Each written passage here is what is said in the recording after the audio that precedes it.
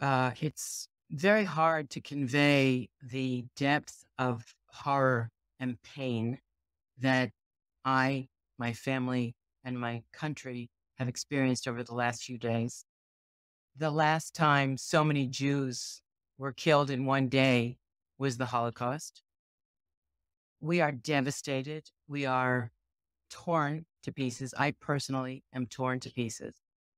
Um, and we are hearing more and more stories of uh, utter, utter deprivation carried out by Hamas against our, against children, against mothers, against grandmothers, soldiers, an entire base of women who worked in intelligence was mowed down.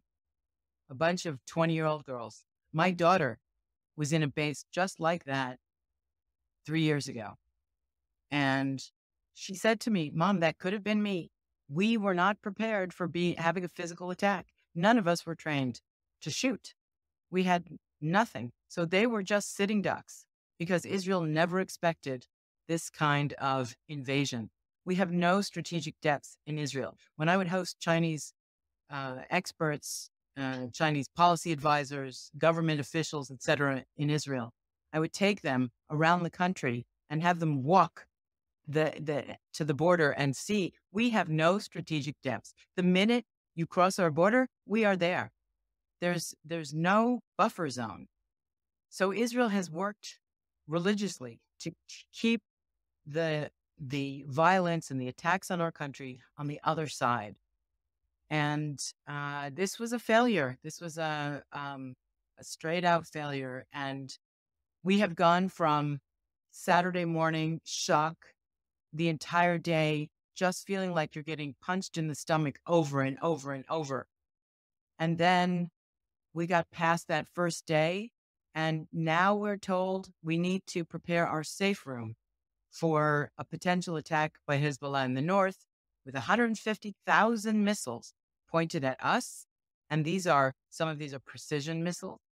And they will, you know, it's not a hole in the building like you might have seen in Tel Aviv or um, part of a house. This is a complete wipeout if it comes from the north.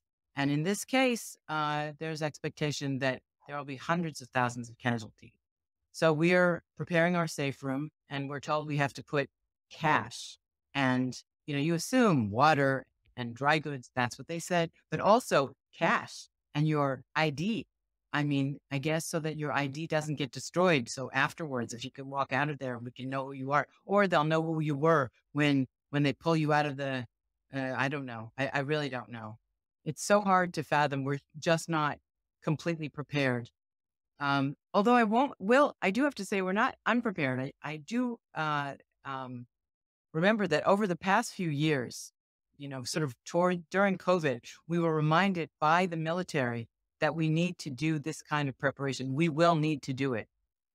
And here the day has come. So where am I? I'm preparing the safe room. I'm trying to focus on work. I'm trying to help my kids who are all adults, but still suffering through this and uh, and and they in turn, you know, are doing volunteer work uh, to try to help anyone that they can in order to get through this in one piece and hopefully come out of it stronger and with a, a very new Middle East. So let's talk about uh, the sort of, I guess, Chinese interpretation of uh, the events over the weekend, which apparently are like America's fault. I'm curious for your sort of diagnosis of, um, you know, what were some sort of geostrategic drivers uh, of the attacks. Well, the Chinese interpretation. First of all, I've been in touch with scores of uh, government and and party um, policy advisors, experts, academics over the last few days, and every single one of them, on a one one to one one on one basis, has offered heartfelt support, standing with Israel, supporting the, the people, etc. Uh, the government has interpreted this. Um, it comes across in a very similar way to uh, the way China has interpreted past terror attacks. And it is bizarre to say, but you know, even we woke up and said, "Oh, this is another terror. Is it another terror attack?" And oh no, this is not just another terror attack. I mean, can you believe those words that I'm saying? That terror attacks are are our norm. Oh yeah, it's just another terror attack. So um, China's response has always been uh, generally to take the Palestinian side. Um, politically, China officially stands 100% with the Palestinians and has done so, um, you know, for decades. Uh, on a on an economic level, China is very happy to work with Israel on a personal level, on a cultural level. Uh, many interactions, academic cooperation, scientific cooperation, et cetera, et cetera. But politically, they've always been very clear 100% anti Israel votes in every international institution. Uh, when I wrote, when I said this on CGTN, I was criticized by a Chinese scholar that this was too harsh, that I was too sharp. And my response is this is not the time for uh, concern about um, Israeli harshness and sharpness. This is a time where history will judge the decisions that are made by countries around the world. And we see, you know, Brussels generally is not a great supporter of Israel. It, it generally is a critic of Israel, but they firmly stand with Israel right now. The butchery that took place, no human, no humane person could watch that and say uh, that there, this is anything but barbaric and stand with the people who are suffering. Um, many Chinese people, I understand, uh, are getting a lot of misinformation and disinformation, which is common. Uh, but it means that the government and the censorship is allowing that uh, misinformation to become rampant on uh, and Weibo and um, other social media, which is causing a, a misreading and it's making it look like, once again, the Palestinians are suffering from Israeli aggression. Well, this began with the most egregious and savage, barbaric behavior against citizens, civilians.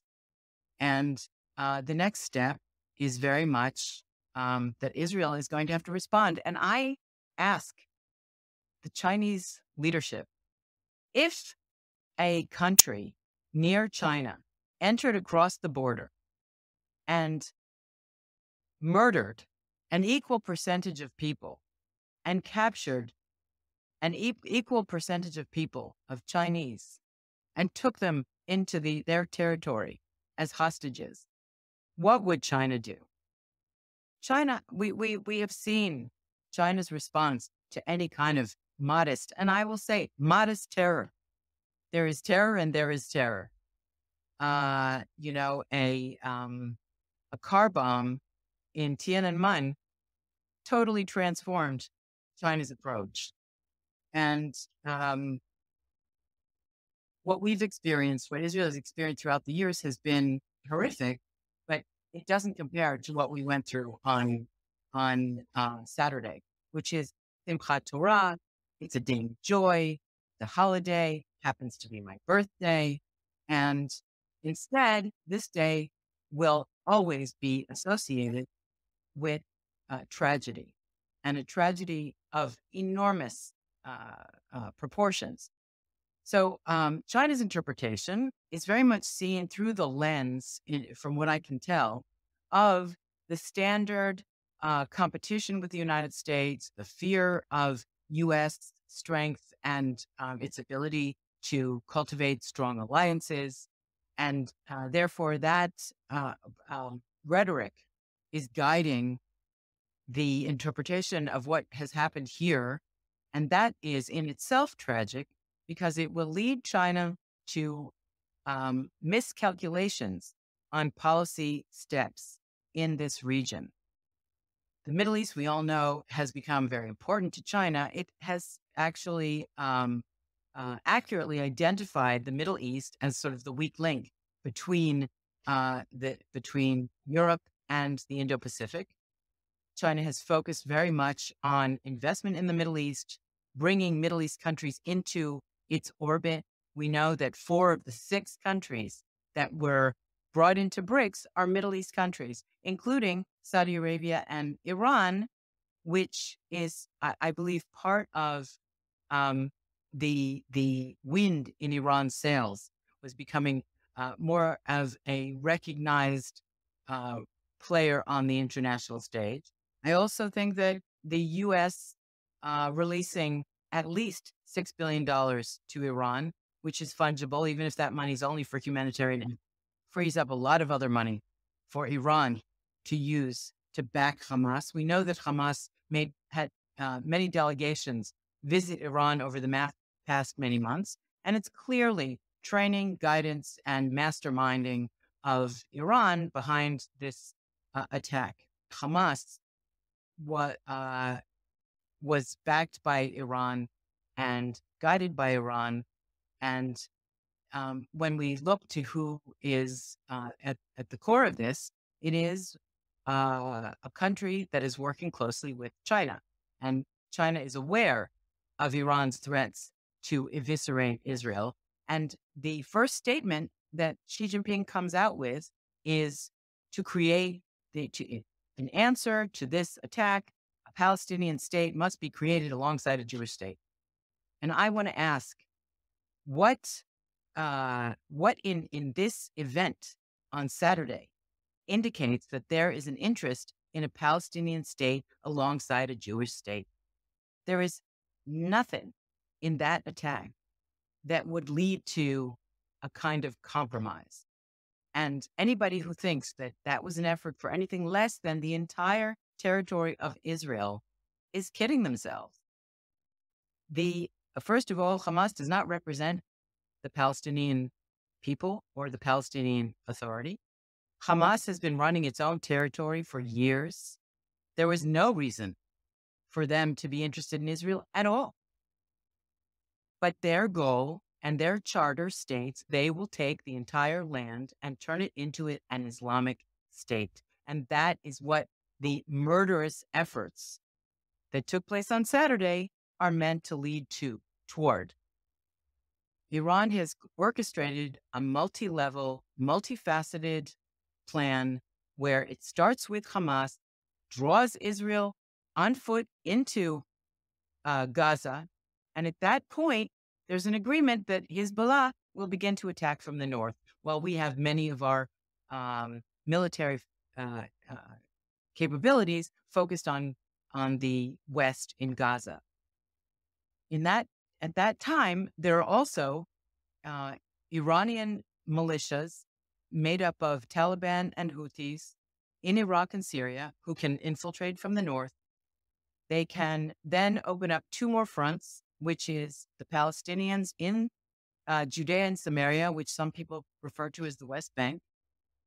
And the final uh, front are Israeli Arabs. And we saw some of that uh, take place in the past, in the recent past. Um, but in the end, this um, uh, four or five point attack is not about convincing Israel to make concessions. If Israel thought that concessions would lead to a peace and uh, a um, live and let live situation, we would have done it years ago. Uh, Ehud Barak offered Arafat, with the support of Clinton, more than 100% of the territory that has been discussed in these two state solutions for decades. And he said no, flat out no. He said, I will not be the the Arab leader who gives away our sacred land. Well, what sacred land is he talking about if he was already getting 100% of the territory discussed?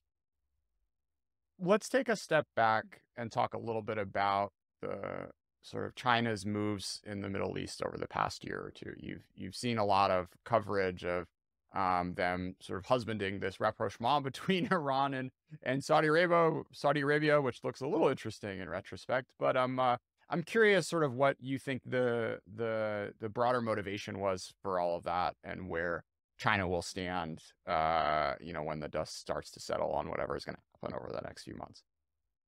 So first of all, the we have to keep in mind what we said at the outset, or what, you noted so rightly, that it looks like it's about, all about America from the perspective of China. So as I noted, the Middle East is this weak link. Uh, China has been in, the largest investor in the Middle East since uh, 2016. The digital Silk Road has been very successful here. Uh, the investment um, uh, by China into Middle East countries that can provide um, payment through oil, et cetera, uh, has grown exponentially. Exponentially, the lar- I think the third largest BRI uh, investment country um, a couple years ago was Iraq because they can pay for whatever they need in oil. Um, we know that there's a huge amount of Chinese technology. Huawei is is has blanketed most of the Middle East except Israel. They don't have the same the the uh, Arab countries don't have the same security concerns that Israel has uh, with respect to privacy, with respect to control over their telecoms. For us, it's existential. For the Arabs, it's just another thing. So um, they also believe that they can balance the two, uh, the balance the U.S. off of China and vice versa. Uh, we've seen very clearly Saudi Arabia and UAE's ability to um, get benefits from both sides, and especially Saudi Arabia playing one off the other uh, quite successfully uh, because Saudi Arabia has a lot to offer. It has a lot of money and um, oil resources. So uh, it's in a very different position. Uh, and um, having Saudi Arabia in China's camp is a major goal. Pulling it away from the US is an anchor for China's position here. When um, Xi Jinping came out with the Global Security Initiative. Uh, Wang Yi, um, you know, the top uh, diplomatic uh, official of the country, said this will become the security architecture of the Middle East. Specifically, said that. Now, prior to COVID, there were uh, yearly gatherings hosted by China between Israelis and Palestinians talks, but they were all uh, with un- non-official players, which um, didn't really lead to much, except China got a little bit of um, pro propaganda uh, that they were helping the Palestinian cause. Of late, they uh, after the success with the Saudi-Iran rapprochement, where they invested a few months of effort, uh, where the Qataris and the uh, uh, is it maybe it was Oman who had done the heavy lifting along with Iraq. Uh, but China came in towards the end, definitely made a, a, a contribution. And uh, that success far uh, outweighed their expectations. They did not realize that they were going to get so much play from that achievement. And it led them to pick up the phone for the first time ever to have the foreign minister back then, before when Qin Gang was still in in his role, uh, called up the Israeli foreign minister and the foreign minister of the Palestinian Authority and said, uh, "We're happy to mediate and bring this problem into the United Nations." And of course, uh, it's well known that Israel is despised in the United Nations, never gets a fair shake, and bringing anything about Israel into the United Nations is uh, anathema for Israel and, and equal to failure. Uh, nonetheless, China made that offer. Um, I think China's interest is uh, establishing the Global Security Initiative, which is also a non starter for Israel with the concept of indivisible security, where uh, uh, the security needs are equated for us between the Palestinians and the Israelis. It, it's, um, it doesn't speak to the problem where we are the subject of Palestinian terror on a permanent, ongoing basis. Yes, the media in China portrays it as Israel being the aggressor, but in fact, we are the victims of terror over and over and over. And the reason we have to have all of these checkpoints, et cetera, et cetera, is because we keep getting blown up. So, um, how uh, uh, my my understanding of the end game here right now, China on the one hand has its goals. It wants to sideline the US keep uh, Saudi Arabia in its orbit, strengthen the um, uh, axis of countries that are under uh, the the sort of China umbrella of quote global South countries, and have some of these stronger countries like Saudi Arabia in that camp. However, after this terrible failure on the part of Israel, and and there are reasons. Uh, there are many reasons unknown, but there are a couple of reasons that are known, and they're not good. Uh, one of the reasons I think that Israel let down its guard is because Hamas had been behaving uh, incrementally more like a responsible actor. And Israel wanted to believe the fantasy, like everyone else, that there's hope for, for peace, hope for progress, and let down its guard. Uh, and that, along with uh, the infighting that we had uh, over the last nine months, distracted too many people. And for that, and as well as other reasons that will come out later, uh, we were, um, you know, we dropped the ball. Our security people dropped the ball. And that's over. Israel has regrouped. We are now, we and the rest of the world are now aware of who we are dealing with. And there is no possibility when you live next to a monster, you have two choices. The monster eats you or you kill it. And those are the, you know, it's, it's a terrible thing, but you can't live next to a monster who's constantly coming and trying to destroy you. So um, that will happen. And if Hezbollah decides to join in, I don't know uh, when the U.S. battleship pulled into the Mediterranean, it was a very strong message, not only to Hezbollah of what they might expect, because Americans were killed and Americans were probably kidnapped and taken hostage, which gives America the uh, ability to get involved should that be useful. But it also speaks to Saudi Arabia and the other countries of the region that if you're like Israel or you are working with Israel, you have an opportunity to gain the kind of security umbrella that Israel has. And that, in my opinion, you want to talk about where is the Middle East going. I see a new Middle East that we none, none of us could have predicted on its way, where um, we have this war, we reshape the, the immediate neighborhood based on the results of that war, that normalization follows with Saudi Arabia, that other Arab countries see the benefits and join in. And at that point, China will have to rethink its approach to Israel because until now, Israel was a very useful card. If you uh, uh, throw Israel under the bus, and China doesn't like to hear it, but it's the truth. If you throw Israel under the bus, the idea was you're going to get support of the 56 Muslim states and certainly the 22 in the Arab League.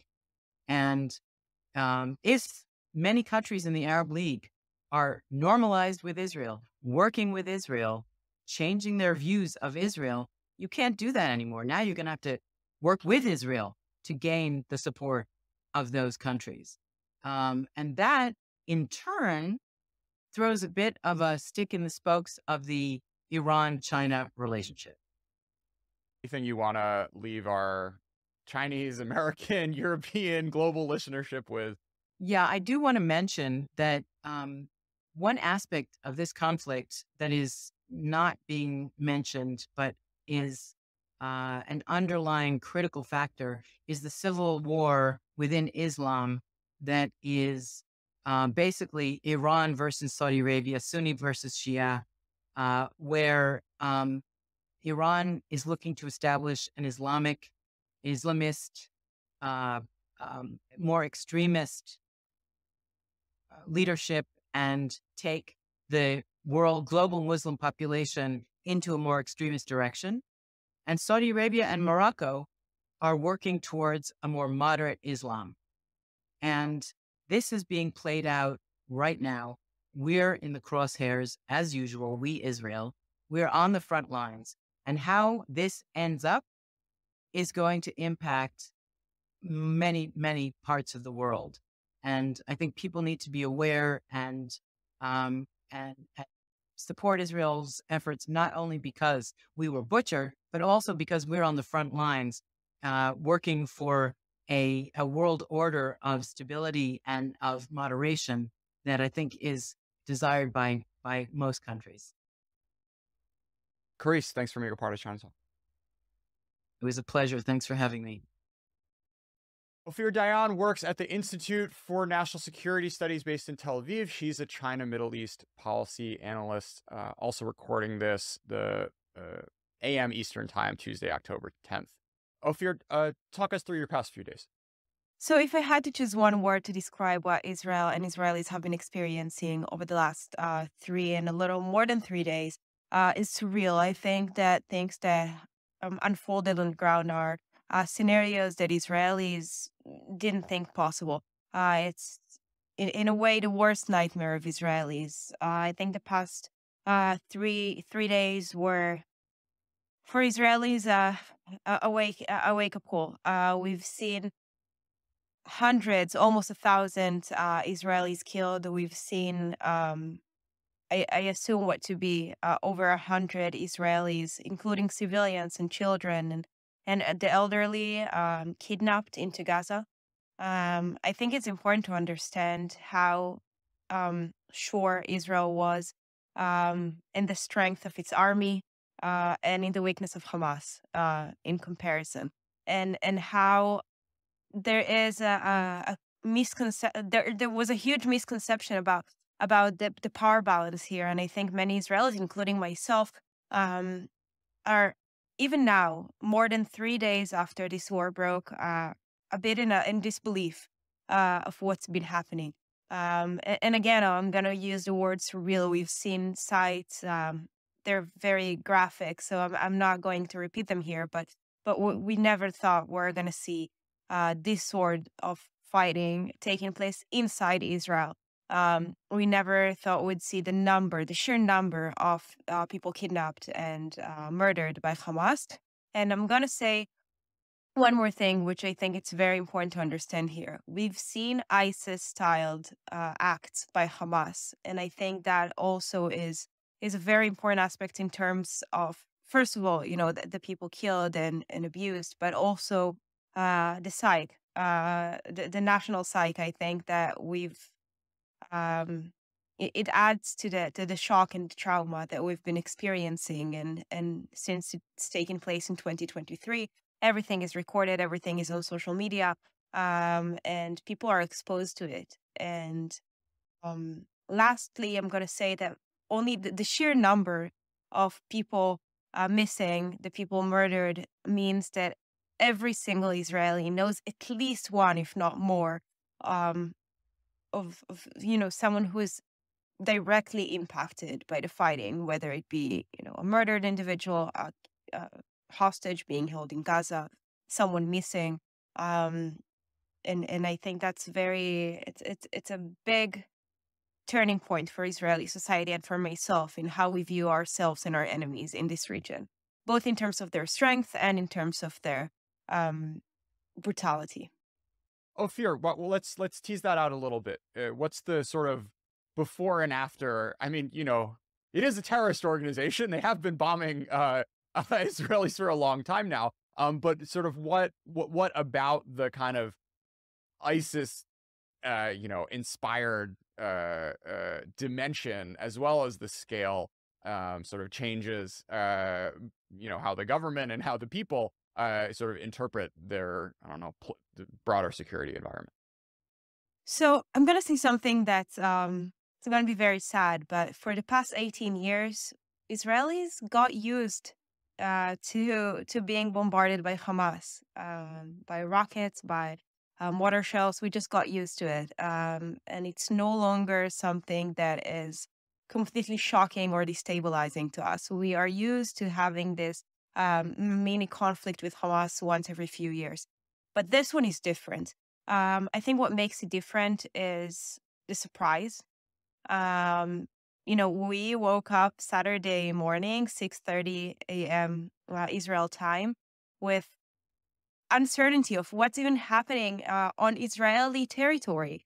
Um, entire communities were held by Hamas. They were, you know, they were taken over by a terrorist organization.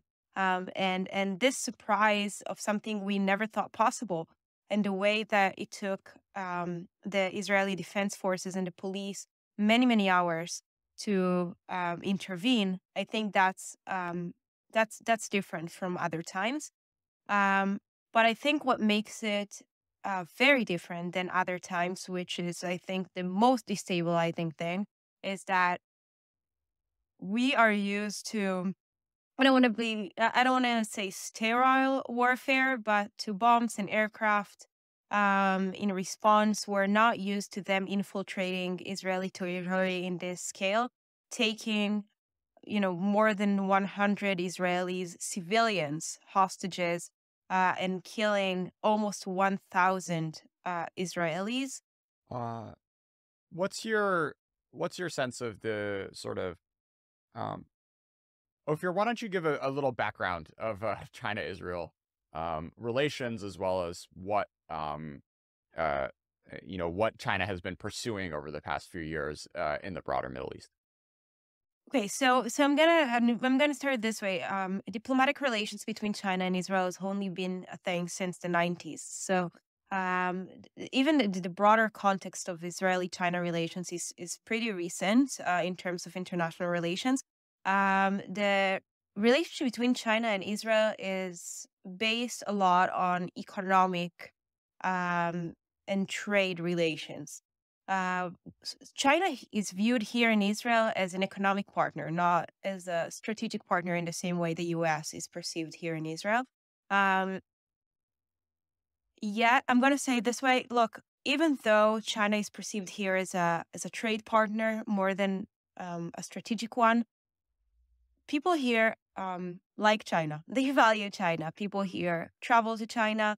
They um, buy Chinese products. Uh, before this entire thing started, we even uh, were talking about a planned trip by the Israeli Prime Minister Benjamin Netanyahu to China, uh, a trip that stirred controversy because, um, you know, Netanyahu and his and his closest uh, compatriots even floated around this idea of of China, you know, of this trip being a realignment in the Israeli um, in the Israeli uh, alliances system a little more towards China than than the U.S.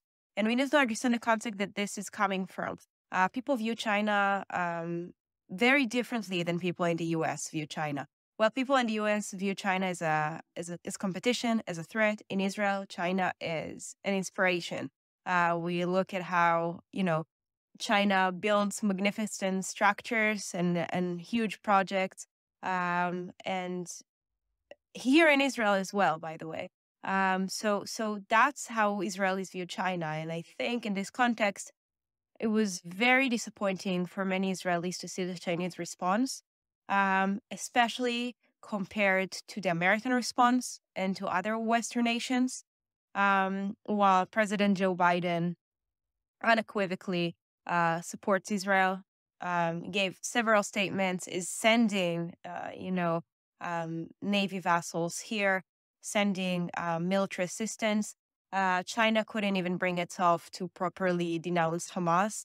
Um, it, you know, something that is very basic. And even people as anti Israel as Ilhan Omar, uh, the Congress member for the US, uh, she even condemned Hamas uh, more than China. And no Israeli thought Ilhan Omar would be a better ally of Israel than China.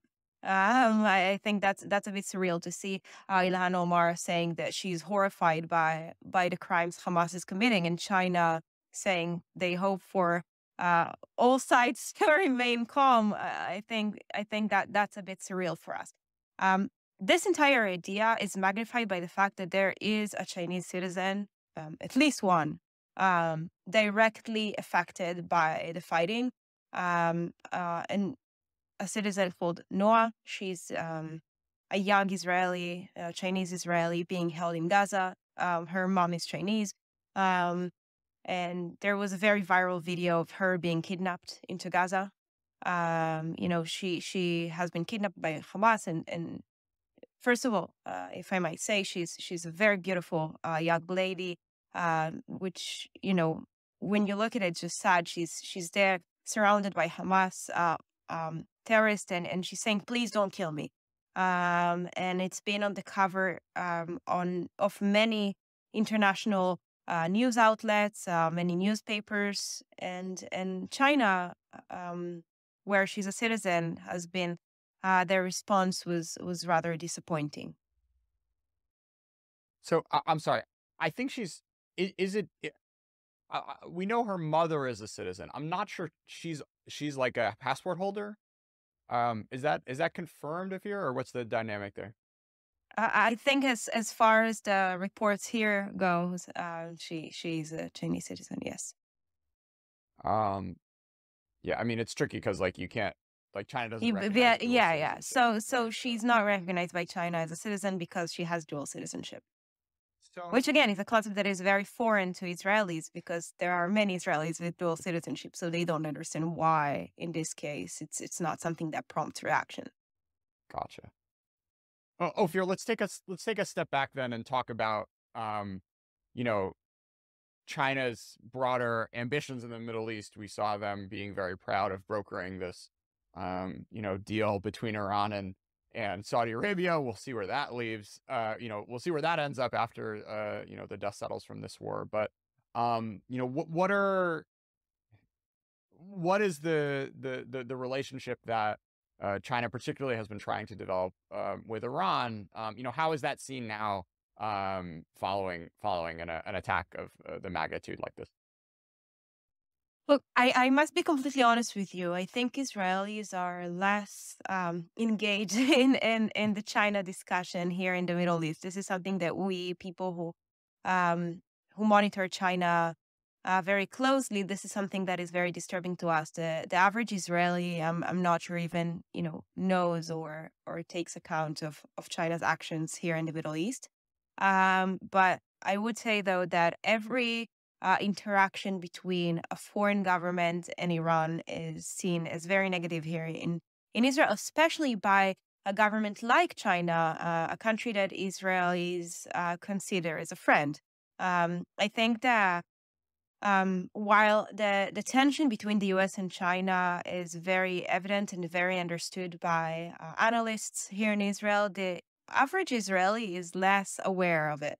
Um, and they, they view China as you know as as as a friendly country. Um, so it's lack of ability to condemn Hamas properly, um, and you know more than that, it's it's alignment with Iran is seen very negatively here. Um, and they will be viewed even more negatively when when Israelis will be more aware of this connection. Um, so if you're, let me read you this tweet. I'm curious for your response. Uh, Ryan Hass from Brookings tweeted, um, time will tell, but my expectation is that China's cautious response to Hamas's attack in Israel will expose the limits of PRC influence in the re- region.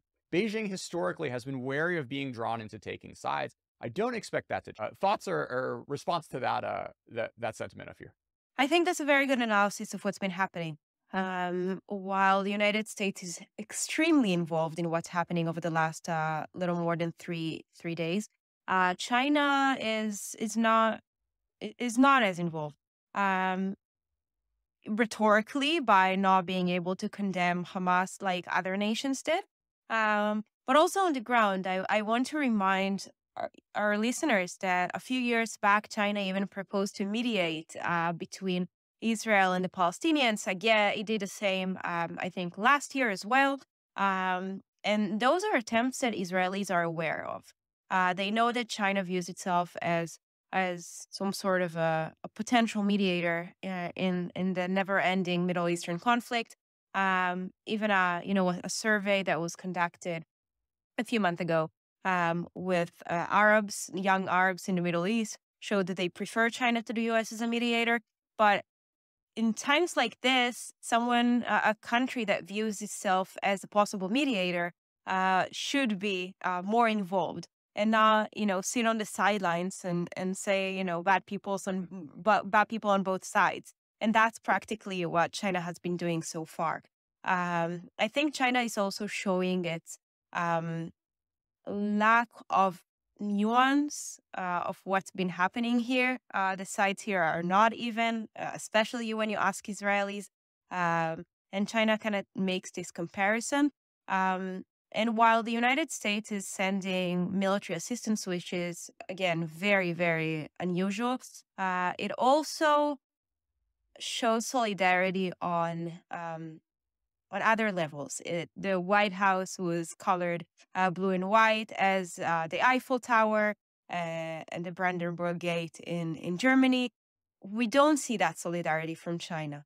Um, but I think it's important to understand how, you know, Europeans and, and Americans are also uh, very familiar to Israelis. They travel here. And although there are many Chinese tourists in Israel, um, Israelis know less about Chinese culture. They know less Chinese individuals.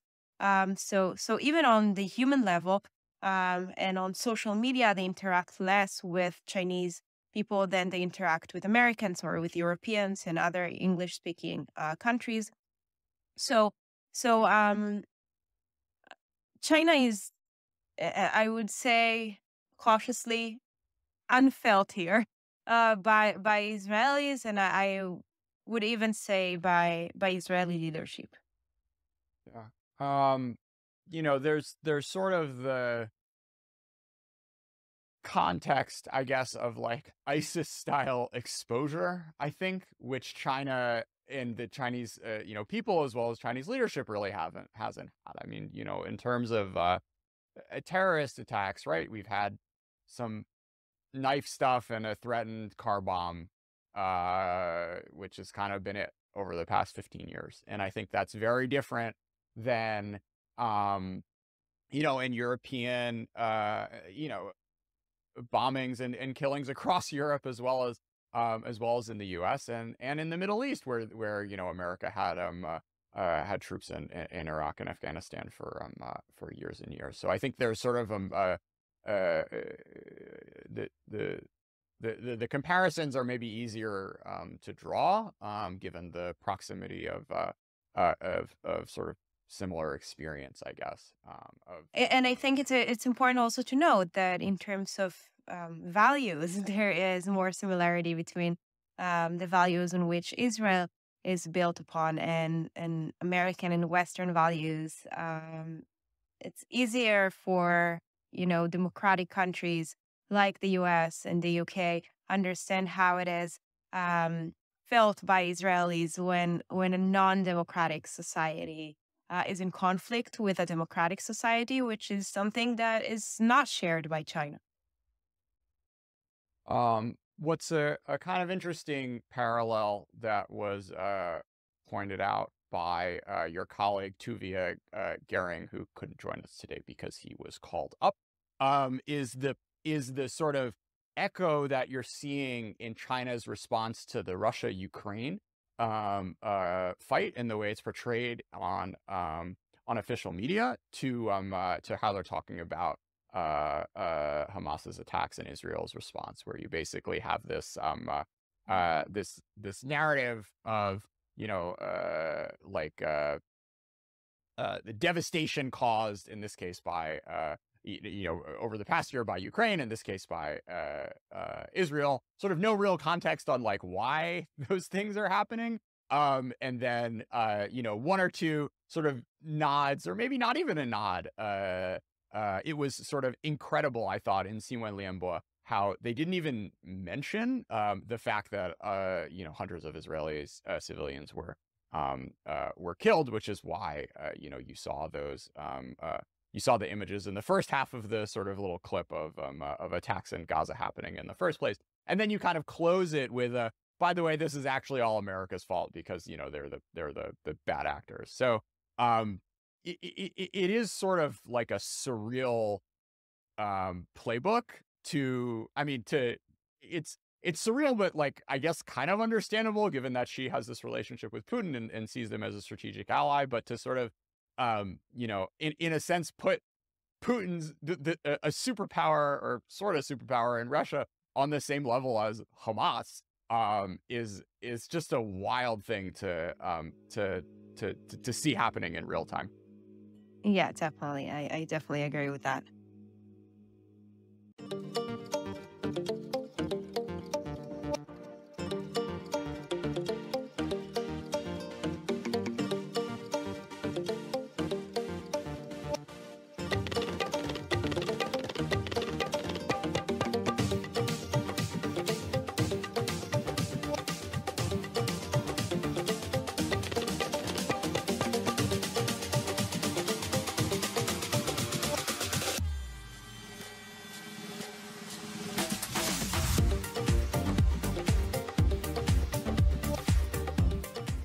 So, Adam, uh, I'm going to start with you. Um, you memorably used the phrase economic long COVID to describe what's going on with China's economy right now. Explain what you mean by that. Thank you for having me back on Foreign Policy Live, Ravi, especially with these two other great guests. Uh, the key thing in making economic analysis, I believe, is trying to say conditional on what is is something just a random variation, is something a change in a trend, a particular incident, and so there's been since my article came out a lot of focus on bad data from China, and as you pointed out. There's some very scary long-term data on demographics, on youth unemployment, things Ling Ling and James have written about. I coined the term economic long COVID because I do think we're at a turning point. And the turning point is not just the ongoing slowdown of Chinese growth as they've built the economy and fewer people are moving from the informal agriculture to the urban sector. Economic long COVID, in my view, is what happened after COVID. And it's a persistent drag on consumer and small business behavior. So, in the sense, not to be too morbid, but that you're sluggish and your immune system is weird for some people after they've had COVID. Now, why do I make this analogy? First, what puts me onto it is the fact that most other economies, including Asian economies, including the other large economies and high income economies, had a real boom when they reopened after COVID. Most forecasters expected such a boom in China. We didn't get that. We got a brief uptick. And then when I started looking into it more, we saw a huge shift of Chinese households, Chinese small business cutting way back on their purchases of durable goods, on their investment, and putting more and more of their savings into savings accounts, liquid assets, rather than just investing abroad. Now, some of that, of course, is they have a real estate problem. But to me, what happened was since roughly 2015, President Xi and the Chinese Communist Party leadership have been more and more intrusive into the Chinese economy. They've been more interventionist in various arbitrary ways. Everyone was aware of the famous interactions with Alibaba, with various tech companies, various moguls. For the average Chinese person or household, this wasn't in their face because if you were, unfortunately, a Muslim Uyghur, if you were a democracy protester, yes, the state got in your way. But for an average Han Chinese person going about their business, there was what I called no politics, no problems since Deng Xiaoping. They would just let you get on with your commercial business as long as you didn't do anything political. And suddenly, with zero COVID, it's in everyone's face just how arbitrary and powerful the Communist Party could be. Everyone knew that but suddenly people on one side of the street were in complete lockdown and the other people were not. And this would be made in very arbitrary seeming ways by the party powers. And so this to me has induced i would call it an immune response essentially of the private sector to government stimulus programs to government announcements because they're never sure how they're going to be implemented when they'll be reversed. Because remember even when they reopened after covid as ling ling and james have written about they initially said, oh, we're going to do this slowly. And then suddenly on a dime, they reopened completely in late November, December. So there's been this series of shocks. And so this going forward, I think, in addition to whatever long-term things are dragging down the Chinese economy and growth rate, and whatever short-term problems they have in the real estate sector, I think for the next several years, there's going to be this bias or distortion that the consumers, the small business, essentially the normal people, are going to be more fearful than they've been. And that mm. is something we've seen in other countries in Latin America, in Russia, in Turkey, when an autocrat basically walks away from letting commerce take place. Mm. Um, Ling Ling, let me bring you in now. I mean, you you live in New York these days, but you've lived in China for many years. You've covered its economic rise. You've covered the slowdown of the last few years. Um, some of what Adam's describing is uh, a stifling of, you know, the animal spirits in the economy of consumer sentiment. Um, is that what you see as well in your reporting? Uh, sure. Thank you so much for having me here on uh, Foreign Policy Live. And, um, you know, I also wanted to just really uh, commend Adam for that essay that really uh, triggered a lot of uh, discussion about China's economic slowdown. Um, I agree with uh, what Adam just described, and uh, you know I do feel like you know we are at a turning point for China's economy. You know China's economy for most of the past four decades has consistently defied economic cycles, right? You know, when some slowdown uh, occurred, the government immediately responded and then, you know, uh, dragged the growth out of the funk. So, but now we are um, in a, a, period of time when, you know, the economic slowdown is going to be, um, you know, many years to come. Uh, now the debate is over whether or not it's a protracted slowdown, you know, uh, lower growth rates, or a more uh, worrisome you know, collapse of the economy, you know, because of the risks we are seeing in financial sector and property sector. Um, you know, um, Adam talked about the uh, uh, hit to private sector as a result of uh, government's interventionist policy, and I completely agree with that. Um, you know, that's definitely what we have seen over the past few years, especially uh, since 2020.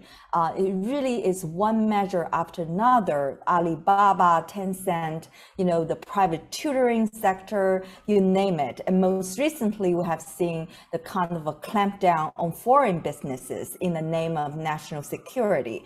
Uh, so all that is, you know, is pretty um, obvious and, and, and you know it's very uh, disconcerting.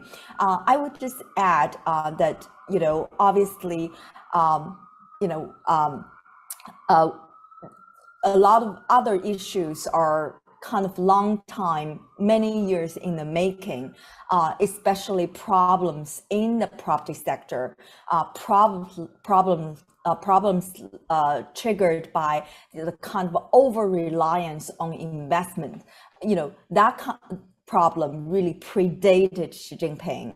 Uh, but uh, I do agree that uh, President Xi Jinping probably has played an outside role in creating the situation we are in today, precisely uh, for the um, you know uh, issues Adam raised, you know, the hit to pri- uh, private sector.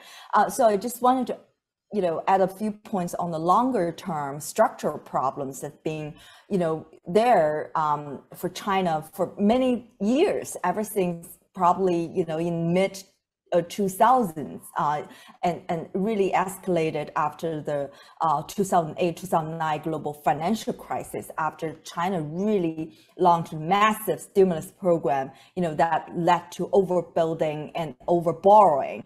Um, you know, uh, so those problems were already there by the time Xi Jinping came to power in late 2012. And he came to power with a lot of promises, right? And, um, you know, people thought, you know, a lot of people in China wanted a strong leader at the helm, a stronger leader than Hu Jintao. And the hope was not, you know, for uh, to see the kind of uh, control we're seeing today, but the hope back then was finally someone who's strong enough, who's decisive enough, who could push through a lot of uh, changes the economy badly needed, like, you know, remake the economic model to make it more consumption driven, just like the United States economy, and less driven by investment, less driven by debt. So that's the kind of hope a lot of people in policy making circles had, a lot of private business people had. But over the years, we really didn't see that happening. In you know, in, as a matter of fact, as Adam pointed out, you know, um, kind of backpedaled on a lot of reform uh, promises. Mm. Private sector got squeezed even further. In terms of property, um, you know, right now, people gave uh, Xi Jinping a lot of credit for finally being willing to take on the sector. But let's you know, we should lose sight of the fact that the bubble got so big uh, because of the policy he put in place in 2015, 2016, that significantly triggered, uh, inflated the bubble even more. So mm. in China's policymaking circles, you know, the property sector was nicknamed honeypot because you can always lean on that sector to boost growth. So and now we're seeing they're finally trying to deflate the bubble. We saw the government trying to cut off liquidity for some over-levered developers, but there's no follow through. How to mm. help them restructure that? How to help you know developers uh, finish unfinished projects? How to help homeowners? Those things we haven't really seen much government action on.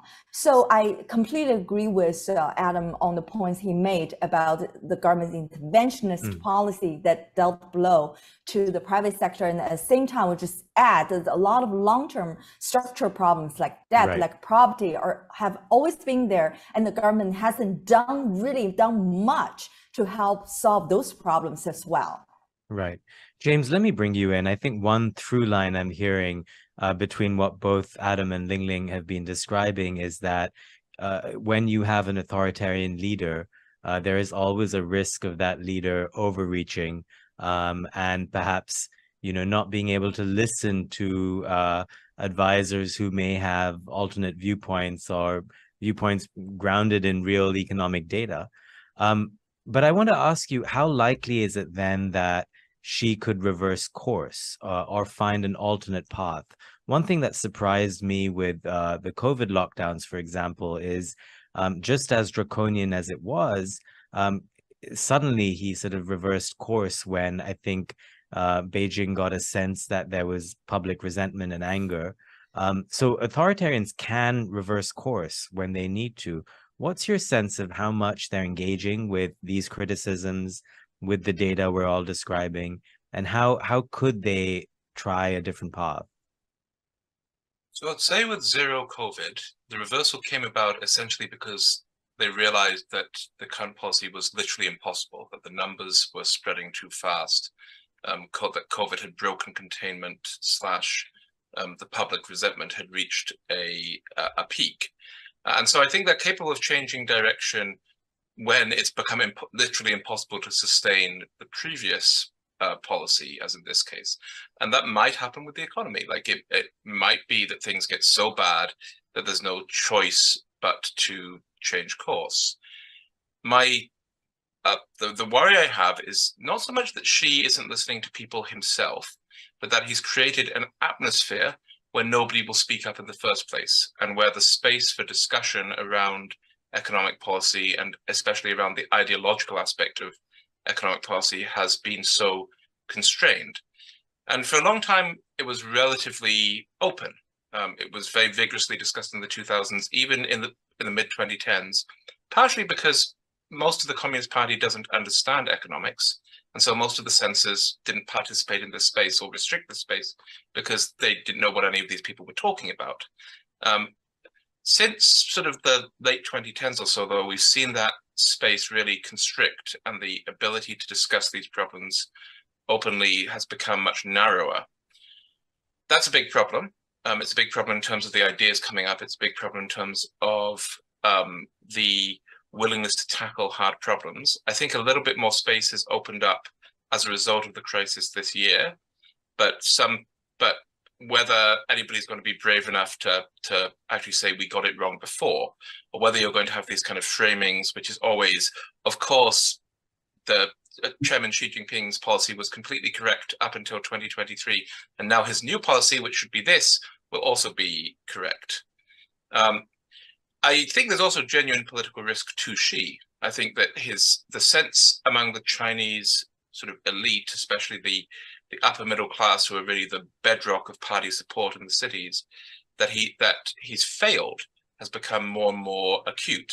Now, is there anything that anybody can do about that under a very tightly controlled party and surveillance state? Probably not. But it's something he has to have in the back of his mind, and that I think could convince him that he has to give some concessions. But it's equally likely, perhaps even more likely, that he'll double down on this on aspects like the Common Prosperity Campaign, which have really re-emphasized kind of um, Maoist or Marxist values, um, and that he will see any criticism as essentially an attempt to undermine him and so stomp on it even harder. Mm. Adam, uh, you know, a question that often comes up with China is why it can't simply spend its way out of trouble. It's done it before. Um, obviously, its debt to GDP ratio now has dramatically risen uh, past America's as well. Um, but what is to stop it from continuing uh, to spend its way out of trouble? So, Ravi, I think there's three things going on. Um, first, in a sense, following Ling Ling and other writers about this, there is diminishing returns. I mean, Japan ran into some of this in the 90s, as did Korea. That that if you're not doing the most useful infrastructure projects or the most in demand real estate projects, your spending doesn't get you as much bang for your buck. But I don't think that should be exaggerated too far because, as Keynes famously argued, and we've seen, you can bury bricks in the in the ground and it still creates employment and consumption.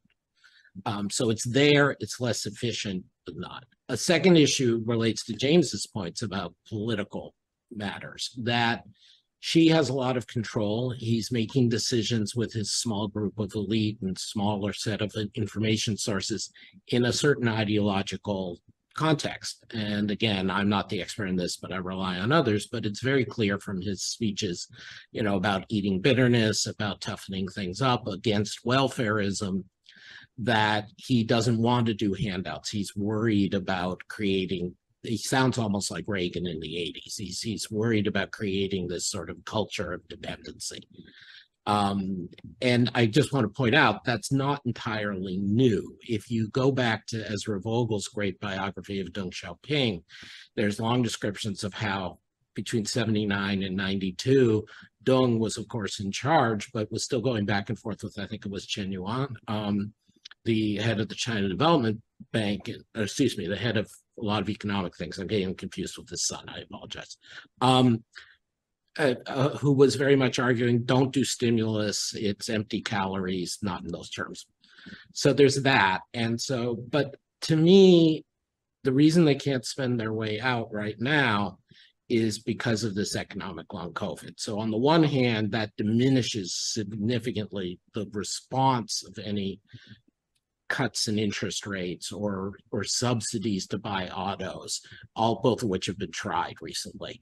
Uh, the the private sector, this again, I want to stress the households and small business people are just not reacting to it because they just don't want to tie up their money and they're worried it could change or be differently implemented at any time.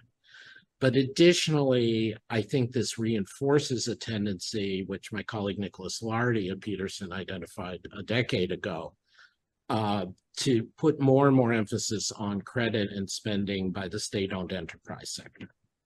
And Xi, I think, I'm just in, interpreting from the outside, sees lack of response to stimulus for the small, normal private sector, uh, is worried ideologically about reinforcing bad habits. And so he starts putting more money into the state-owned enterprise sector, into reinforced by the national security concerns that obviously foreign policy writes about a lot, you know, to be self-sufficient, to be not dependent on the US. To, but anyway, you put all that together and you get a cycle where Xi is spending more money to less and less effect and reinforcing the concerns of the private sector.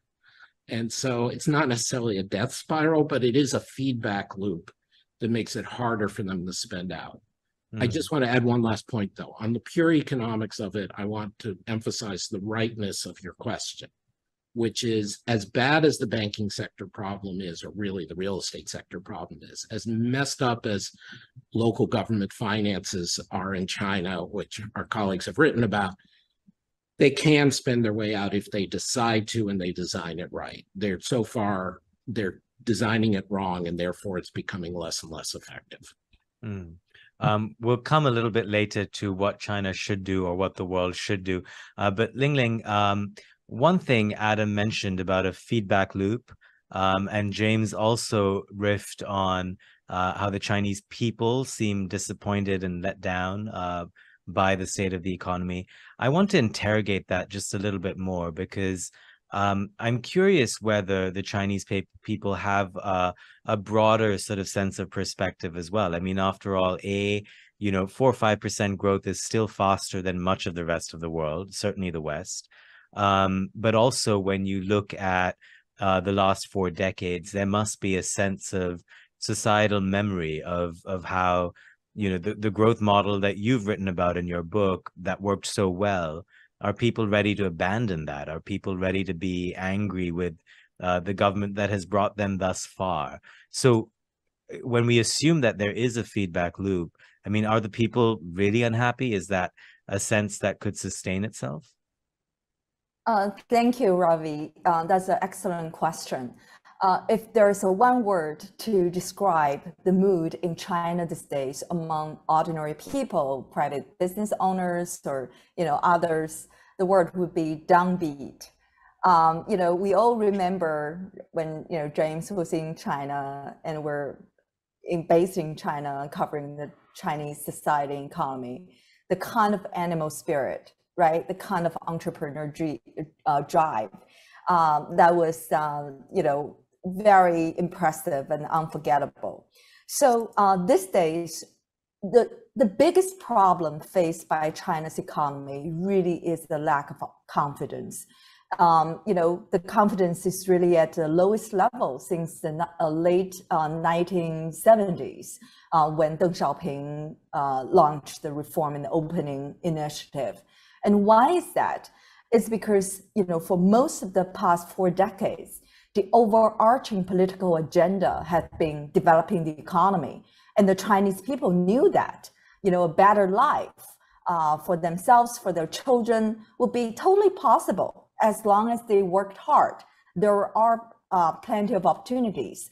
So that really unleashed this kind of animal spirit entrepreneur drive that powered Chinese innovation and private investment in China. So yes, the model, the investment driven model really worked for a long time for China because China was poor. They needed a lot of infrastructure. They needed a lot of factories. And then gradually the government also kind of, uh, you know, made way, uh, made room for private businesses, private, you know, individuals to let them flourish. So both uh, factors combined together, that's the result of 40, 40 years of boom we we had witnessed the most successful economic story miracle in the whole world. But now you know as james and uh, adam pointed out there has been a clear shift under xi jinping in terms of the top line agenda. It's no longer development you know trumped everything else but security. So instead of trying to have a good relationship with the west which really was the core of reform and opening of years past. Now, China is more focused on confronting the US and its allies and building up a geopolitically resilient economy against perceived Western threats. So, that kind of change in focus has contributed to this collapse in foreign direct investment, more restricted access to Western markets for made in China products, and all that has really dampened confidence in the economy. You know, that's partly why, you know, people are not uh, expanding investments too much. They're not um, consuming uh, too much. So this kind of uh, um, you know lack of confidence in China's economy, it's it's really you know in um, based on our reporting, uh, it has really is um, one of the biggest problems faced by uh, China today. Ravi, could I just add one Please jump in. what Ling Ling said? Sorry, James. Um, I mean, and I read her and her colleagues reporting, so this is the picture I have. But there, there is a key point that I've tried to make in my article and elsewhere, which I think also needs to come out, which is when an autocrat decides to back off non-intervention or putting it more positively, decides to be more aggressive in intervening in the economy, it's not just the confidence goes away in in the sense of bad performance necessarily but that it's almost impossible for the autocrat to say in a credible way, I'm not going to do this again. I'm not going to do it. And this relates to what James was saying about the the issues of reputation and and and performance for Xi. He he can say, I didn't make a mistake before, I didn't make a mistake now. But the key thing is, even if he says we're we're going back to letting in foreign direct investment or we're going back to letting private business do things, it's not credible because he's he he's crossed the line. And that to me is the key part, along with the things Ling Ling said of the Chinese economic miracle, was that from 79 under Deng, basically, and through Xi's predecessors up till he takes office in 2013, a little after, they were credible. They held themselves back in the economic here. They were, you know, barbaric and autocratic in all kinds of other spheres, but in economics, they held themselves back. And now that Xi's crossed that line, I don't think people can believe him that he will hold himself back. James, I'm curious how much youth unemployment uh, plays a part in public sentiment. Um, and then linked to all of that, I mean, we have been talking about a decline in foreign investment. Um, but uh, some of that, of course, is it's both ways. I mean, the there's de-risking uh, as a sentiment on the part of the West, um, China is focused on security as well. But then surely uh, domestic consumption and domestic demand uh, also has to pick up to to make room for that. So on youth unemployment, there's a, a very huge and obvious kind of morale crisis among Chinese under 30s, uh, maybe even I would say under 40s. And it's not just the generation that is coming into a dire job market now, uh, so that you have, you know, youth unemployment of at least 21%, probably higher. It's also the generation that feels that they did everything right, that they strove, that they went through the Gaokao, the, the national examination system, that they put in all this effort, that they did the insane hours and long work culture, and that they're not getting rewarded for it. When we talk about like, do people think of the past? Do they compare it to the past? The truth is they mostly don't. Most people, people, firstly, this generation grew up with a uh, developed China, or at least developed China in the in the big cities where they're, they're mostly from. Um, secondly, people just adjust to the norms of the day. They you you base your expectations mostly on the last few years, not on not on your childhood. I mean, I think of you know um, when I first used the internet in like 1993 or so, and was like, oh my god, this is a miracle. And now, if my Wi-Fi fails for two seconds, I'm uh, furious at the world and everything in it. Um, and it's the same. It's the same in China. That you're after years and years of growth, you're used to growth and the expectations of growth, and you've also made a bunch of economic decisions based on the assumption that you're going to keep growing at eight percent. That you're that things are going to be as good. That things are going to stay good. Uh, people have made personal financial decisions as well as business decisions based on that. Mm. So yeah, with young people, there's a, a, a overwhelming sense of almost despair. Like um, there's, and part of that is also that the government has kept sticking its nose into everything to a degree that's sharply different from even the China of 10 years ago. And this isn't just that the government has like shut down your business if you're if you were doing like private tuition or um, made you go through a bunch of self-examinations in the tech sector. It's that like the Communist Party, which you joined because you kind of had to and you thought it was a way of getting a, ahead, is now making you do like three meetings a week instead of one meeting a month. Um, your favorite streaming shows have been taken off because um, you know Two and a Half Men has been deemed ideologically irresponsible.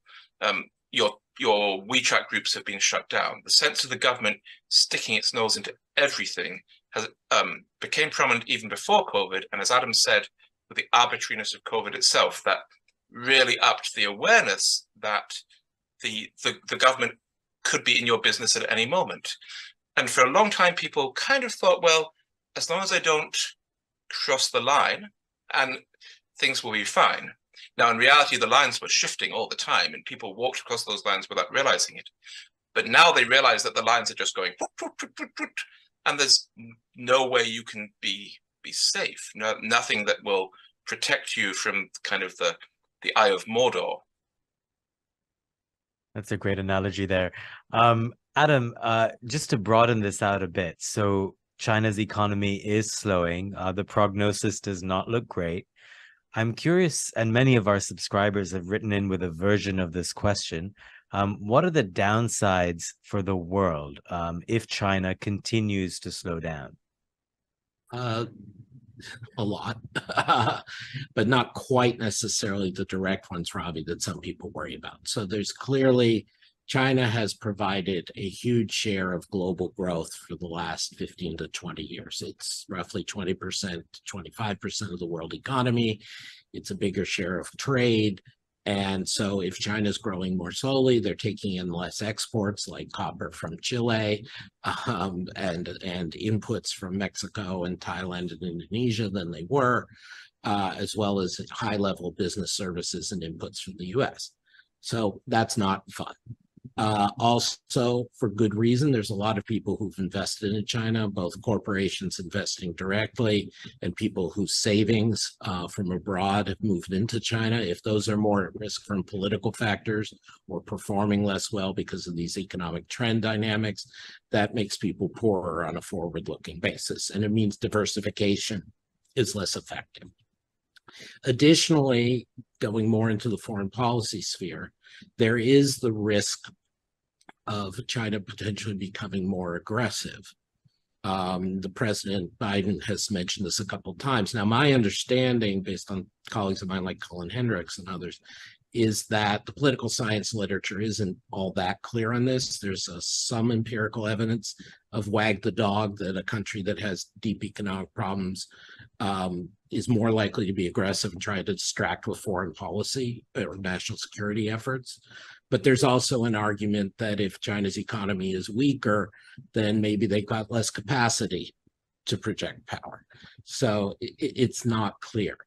But the thing I would emphasize most, and it goes to some of the very apt and chilling Eye of Mordor and other discussions that Ling Ling and James made, which is a China that's demographically out of whack because of the one child policy and all the things and the gender selection and all the things that came with that through the years and that is not meeting the reasonable expectations of their younger employed people or unemployed people is a China that's going to be more closed, a China that's going to be less innovative, a China that's going to be less in positive exchange with the rest of the world. And we shouldn't forget that there's been a huge amount culturally in innovation, in business networks and human development that has come out of Chinese exchange in various forms, not just limited commercial forms with, with the US, but with the world at large. And we're moving in a direction where that's becoming less and less available. And that's partly things the US and the West are doing and mostly things Xi is doing, but it's both this is a loss. This is a loss for the hundreds of millions of people in China who want more options, more freedom, and it's a loss for the rest of us who don't get to benefit from that exchange. And I think we should look at it from that point of view. I agree. Um, I think we can all agree on that. Um, Ling Ling, I'm curious about um, whether you think there are um, options for Xi uh, that he could exercise in the coming months and how likely it is that he would be willing to listen to alternate points of view, um, alternate economic proposals uh, to fix uh, some of the problems we've been discussing. Is is he open to reversing course? Uh, thank you. Another great question. Well, China constantly surprises, so we can't rule out anything or everything. So, um, but in order for China to really have a meaningful course correction on economic policy, the politics has to change. Uh, at the very highest level, um, the the focus for the party, for the government, has to change back to economic development, back on the path of reform and opening. Deng Xiaoping, you know, um, uh, started. Um, for now, we're not seeing any signs of that happening. Uh, you know, down to more detailed policies, you know, we need the government to not just talk about supporting private sector. We need the government to actually making, taking specific measures to support the property sector, uh, to the private sector. And in terms of property sector, we need the government to really figure out, you know, have some follow through on their existing policies, you know, how really help the developers restructure debt and allow the losses to be allocated among different stakeholders. So, um, but you know, for now, we're not seeing any signs of any meaningful course correction happening. The biggest reason for that is that you know Xi Jinping is very determined, right? Uh, for him, the biggest priority this is this uh, great power competition with the United States and its allies and partners. Uh, to that end, he has many demands for the kind of resources China has now. You know, a lot of people have debated over how much uh, fiscal space China has uh, for stimulating the economy? You know, the answer really is not that much. You know, if you consider uh, Xi Jinping's other demands, other priorities, for example, defense spending, spending needed for surveillance, spending needed for Belt and Road and other related objectives, eh, you know, um, all those, you know, things in order to, uh, you know, implement all these priorities, there really not much left for stimulating the economy.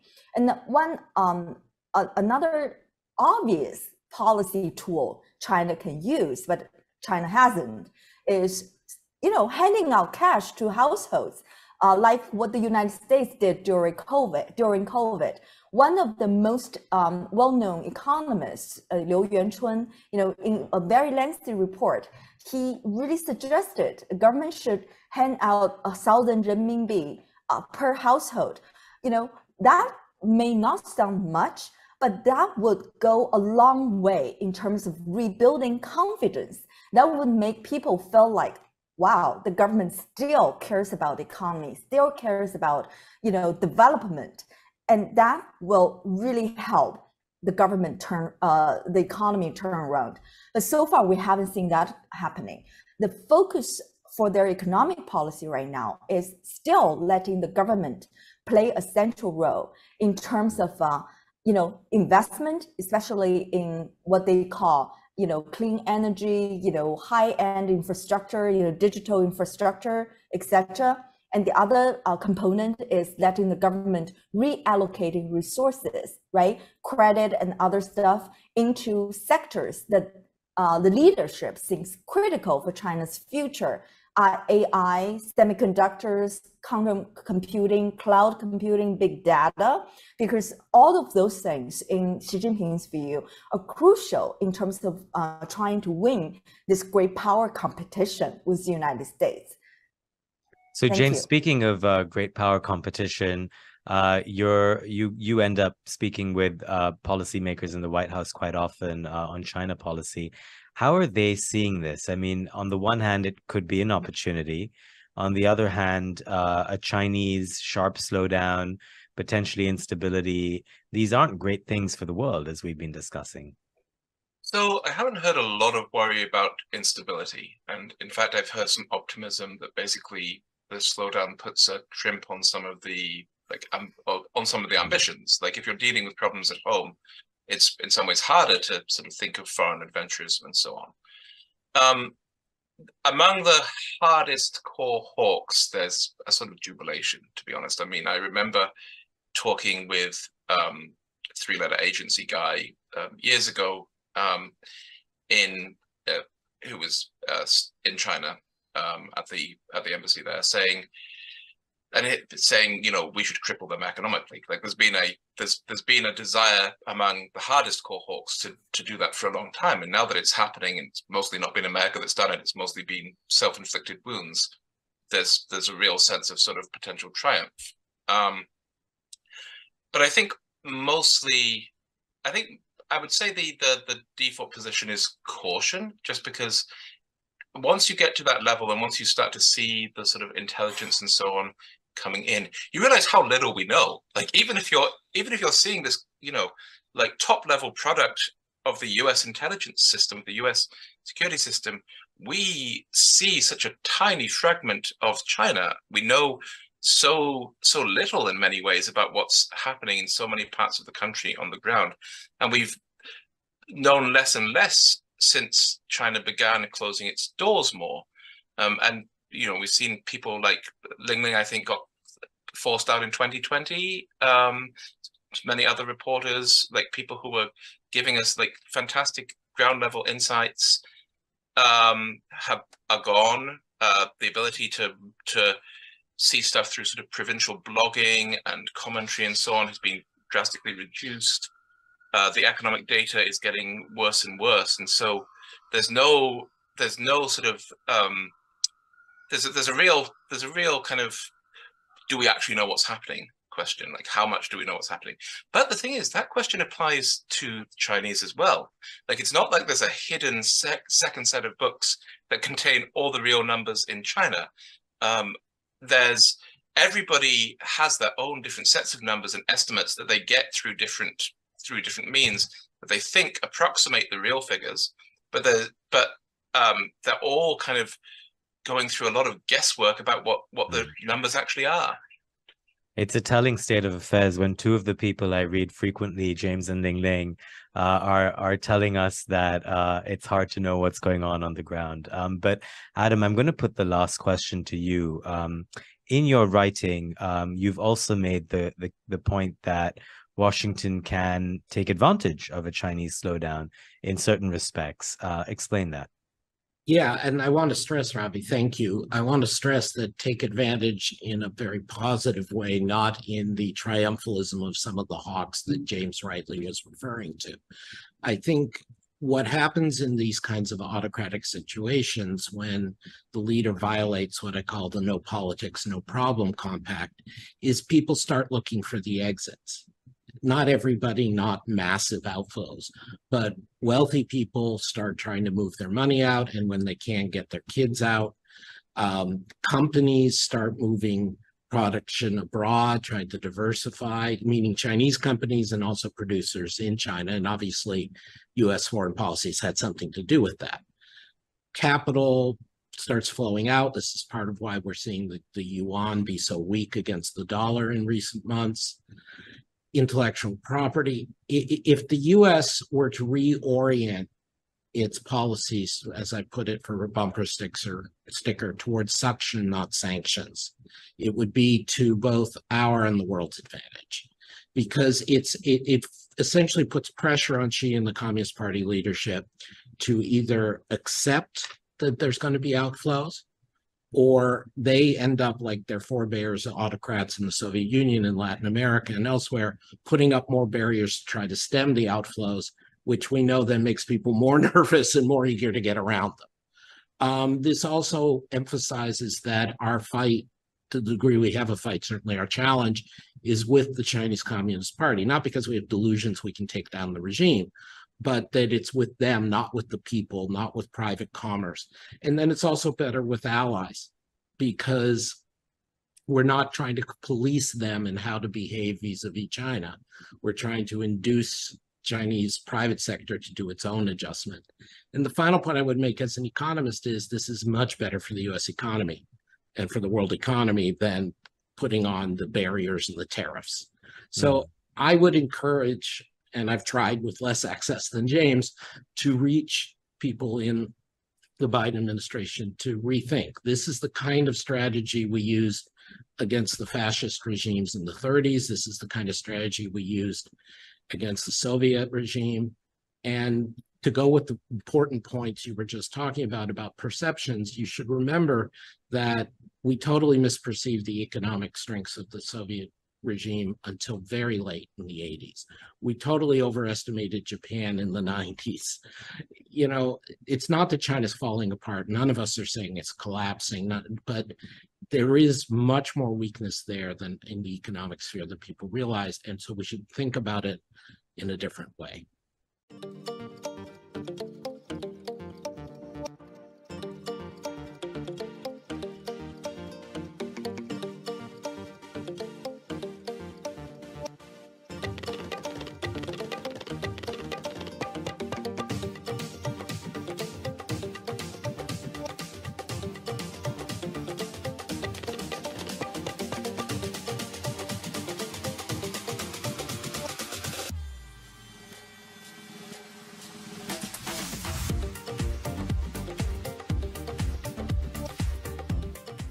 欢迎大家收看《华尔街评论》。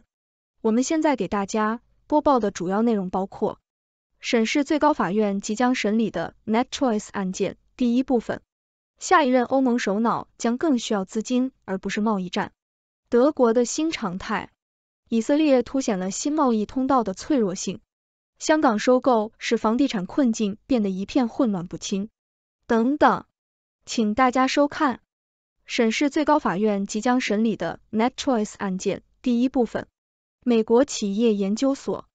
美国最高法院同意审查两个在社交媒体平台的第一修正案言论权利方面存在严重冲突的联邦法院裁决，分别是来自第十一巡回上诉法院的 Moody v. Net Choice 案和第五巡回上诉法院的 Net Choice v. Paxton 案。大法官们可能是在二零二四年六月将解决这些法院对于佛罗里达州和德克萨斯州类似法律的合宪性的争议。这些法律强迫平台违背自己的意愿托管内容和用户，并个别解释内容删除决定。Net Choice 案件中的问题在于，平台作为私营企业自行决定以下事项的自由，而不受政府干预和强制：一、允许和禁止的内容类型；二、如何策划、展示和删除内容；三、何时封禁用户以及如何向他们解释删除其内容的决定。平台的编辑控制权和自主权，以创建、维护和发展他们所期望的言论社区，而不是政府自以为是的认为可取的社区，正面临威胁。通过 Adobe Stock，本文是一个两部分系列的第一部分，概述了最高法院将审查的问题和法规。第二篇文章将解释为什么最高法院决定审理这些案件，并指出一些法规问题和概念。大法官们可能会在这些案件中简要或详细的讨论。这些主题包括：一、通信连接法第二百三十条款；二、不说话的第一修正案权利；三、最高法院在一九七四年详细阐述的社交媒体平台和印刷报纸的编辑权利之间的类比。四、评估佛罗里达州和德克萨斯州法规合宪性的可能审查标准，以及五、文本和历史在某些大法官身上可能发挥的作用。关于法律问题，最高法院接受了美国总检察长伊丽莎白·巴尔查斯·普雷洛加在八月提交的请愿书中敦促其考虑的两个问题。这些问题涉及佛罗里达州和德克萨斯州对大型社交媒体平台施加的内容审查限制和个别解释要求是否违反了平台的言论自由权利。换句话说，州法规强制表达和规定如何安排表达是否违反了第一修正案。第十一巡回上诉法院在二零二二年五月得出结论，认为佛罗里达州的两组要求内容审查和个别解释很可能违宪，确认了一项初步禁令阻止了他们的执行。相反，第五巡回上诉法院几个月后确定类似的德克萨斯州法规是合宪的，因为他们既不强迫也不阻碍平台自己的言论。因此，他推翻了一项相反的初审法院决定。内容审查法规要求什么？他们强迫平台托管他们本来不会托管的内容和用户，同时干涉平台关于如何安排内容的编辑选择。例如，佛罗里达州的一项法规禁止大型社交媒体平台年度总收入超过一亿美元或全球至少有一亿月度个人平台参与者在阳光州永久封禁或暂停超过十四天的合法合格的州或地方候选人。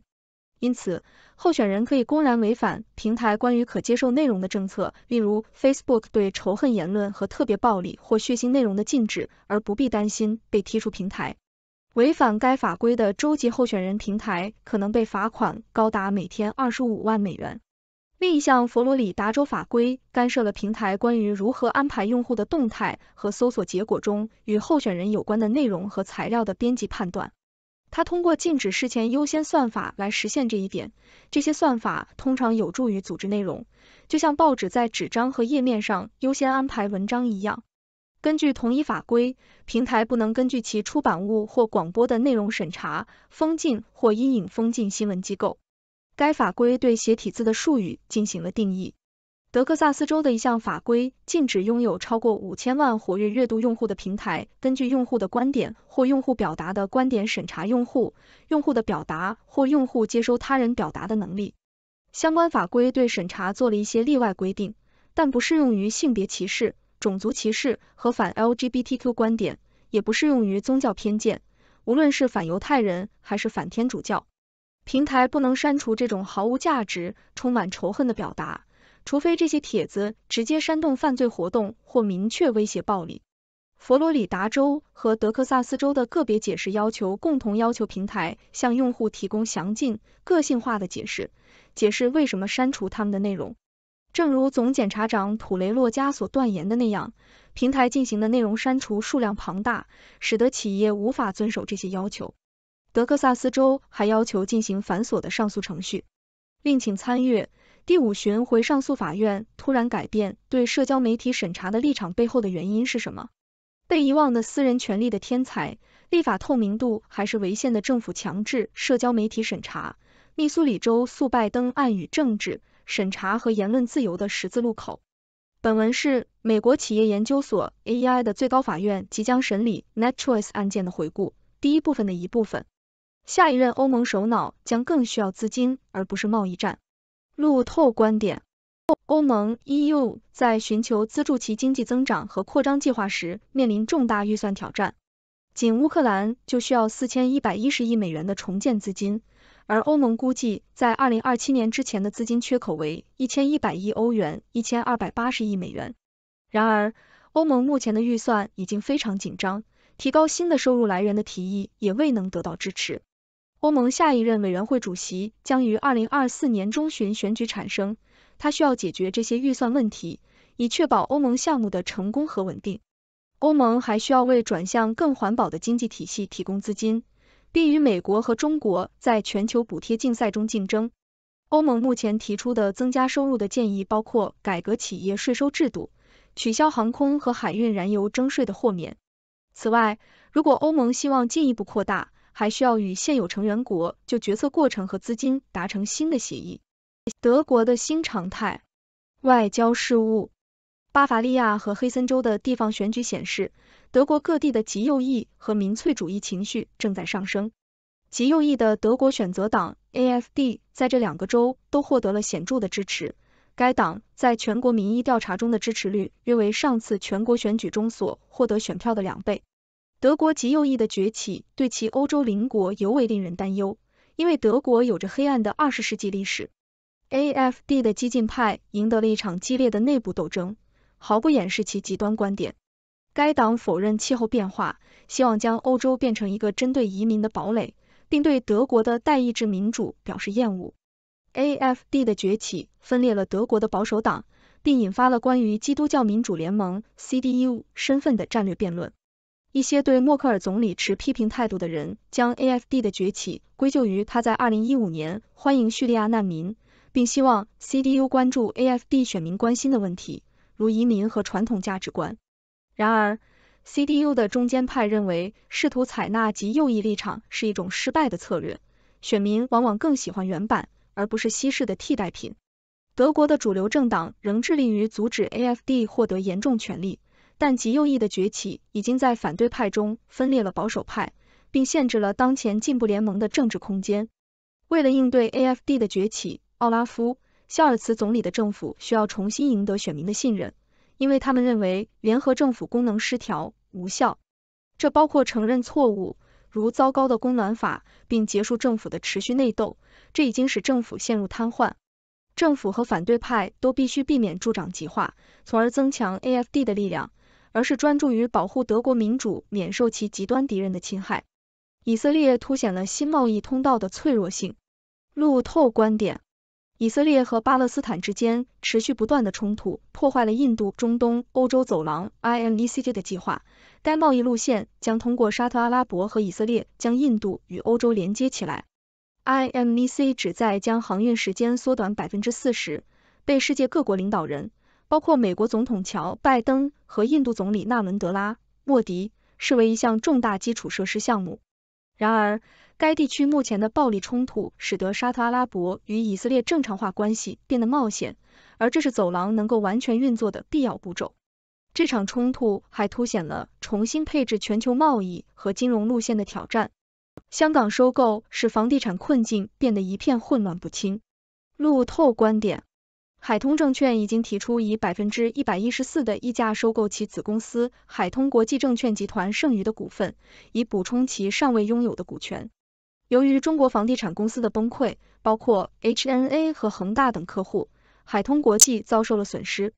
子公司资产缺乏透明度，使得这笔交易无法为其他与中国房地产市场有关的券商设立一个基准。香港政府的 Oasis 项目取得良好开端，吸引了三十家公司。南华早报评论版：香港吸引战略企业办公室 Oasis 成功吸引了三十家公司，主要来自中国大陆，承诺创造一万个本地就业机会，并投资约三百亿港元，三十八亿美元。Oasis 成立不到一年，专注于吸引生命健康科学、人工智能、数据科学、金融科技、先进制造、新材料和新能源等领域的高潜力企业。这些公司将在北部都会区设立基地，该区紧邻深圳，并且是大湾区一体化计划的一部分。谈判解决是以色列哈马斯战争的唯一答案。南华早报评论版。最近，哈马斯对以色列的袭击导致了该国自七十五年前建国以来最致命的暴力事件，许多平民丧生。哈马斯声称在加沙地带扣押了大约一百三十名以色列人质。国际社会必须团结起来，呼吁立即停火，以防止进一步升级，并解决该地区长期存在的人道主义悲剧。袭击中的突然袭击引发了对以色列情报机构的质疑，尽管这些袭击受到了广泛谴责。但双方之间的暴力领土敌对行为，使得很难将其定性为无端的。一些人怀疑哈马斯旨在破坏以色列与阿拉伯国家之间的潜在关系正常化，而这种关系得到了美国的支持。任何涉及其他国家的升级，都可能对全球经济产生灾难性后果。以色列应该采取温和和外交的方式回应，而不是进行军事报复。作为地区和平调解者，中国应该在促进谈判和避免站队方面发挥作用，双方都必须冷静下来，启动政治谈判以寻求解决方案。中国的一带一路政策转变可能对较贫穷的国家造成最大冲击。南华早报评论版：中国的一带一路倡议在过去一年中面临了许多挑战，包括一带一路投资的下降和中国经济的放缓。此外，西方国家通过提供发展替代方案来加强与中国倡议的竞争。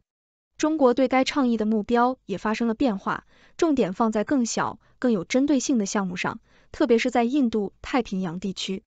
即将举行的第三届“一带一路”国际合作高峰论坛预计将强调增加倡议六个走廊之间的连通性。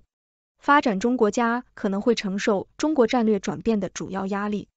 围困加沙并不是解决办法。外交政策，以色列军队目前正在对加沙地带进行轰炸。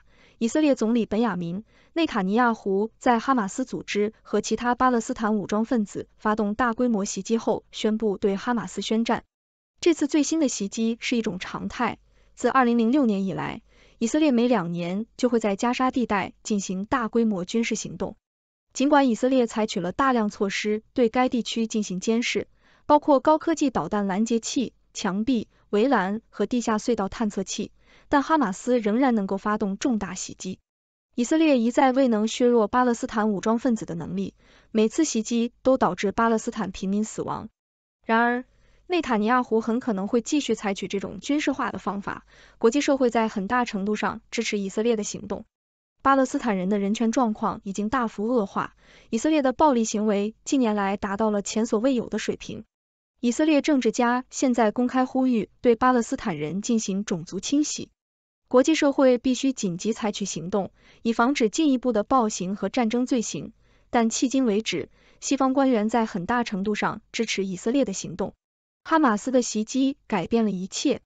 外交政策，最近以色列和哈马斯之间的冲突改变了该地区的动态，使沙特与以色列的正常化等问题被搁置。这场冲突清楚地表明，巴勒斯坦问题不仅仅是正常化道路上的一个选项，而是需要解决的关键问题。只要巴勒斯坦人的不满得不到解决，阿拉伯国家将无法推进正常化进程。这场冲突还凸显了哈马斯面临的问题不仅仅是对约旦河西岸和加沙地带的占领，而是以色列本身的存在。如果没有为巴勒斯坦人争取正义，支持正常化的力量将非常薄弱。此外，这场冲突也对与伊朗的外交接触是否会导致行为变化的假设提出了质疑。有迹象表明，伊朗可能在支持哈马斯最近对以色列的渗透行动中发挥了作用。这表明伊朗的目标是破坏地区秩序并对抗以色列。这场冲突还引发了对加沙地带未来的问题。尽管以色列之前曾努力摆脱对该地区的占领，但他们可能会再次发现自己占领该地区，这很可能会阻碍正常化努力，并对该地区产生更广泛的影响。各位观众朋友，大家好，我是六博士，来自六度世界，是你们每周的观察员。今天我要和大家分享几则新闻。包括美国最高法院即将审理的 Net Choice 案件，欧盟面临的预算挑战，德国及右翼崛起，以色列和哈马斯的冲突，以及中国“一带一路”政策的转变。首先，让我们来谈谈 Net Choice 案件。这个案件涉及到社交媒体平台的言论自由和政府干预的问题。最高法院将审理这个案件，解决佛罗里达州和德克萨斯州的法律是否违宪的争议。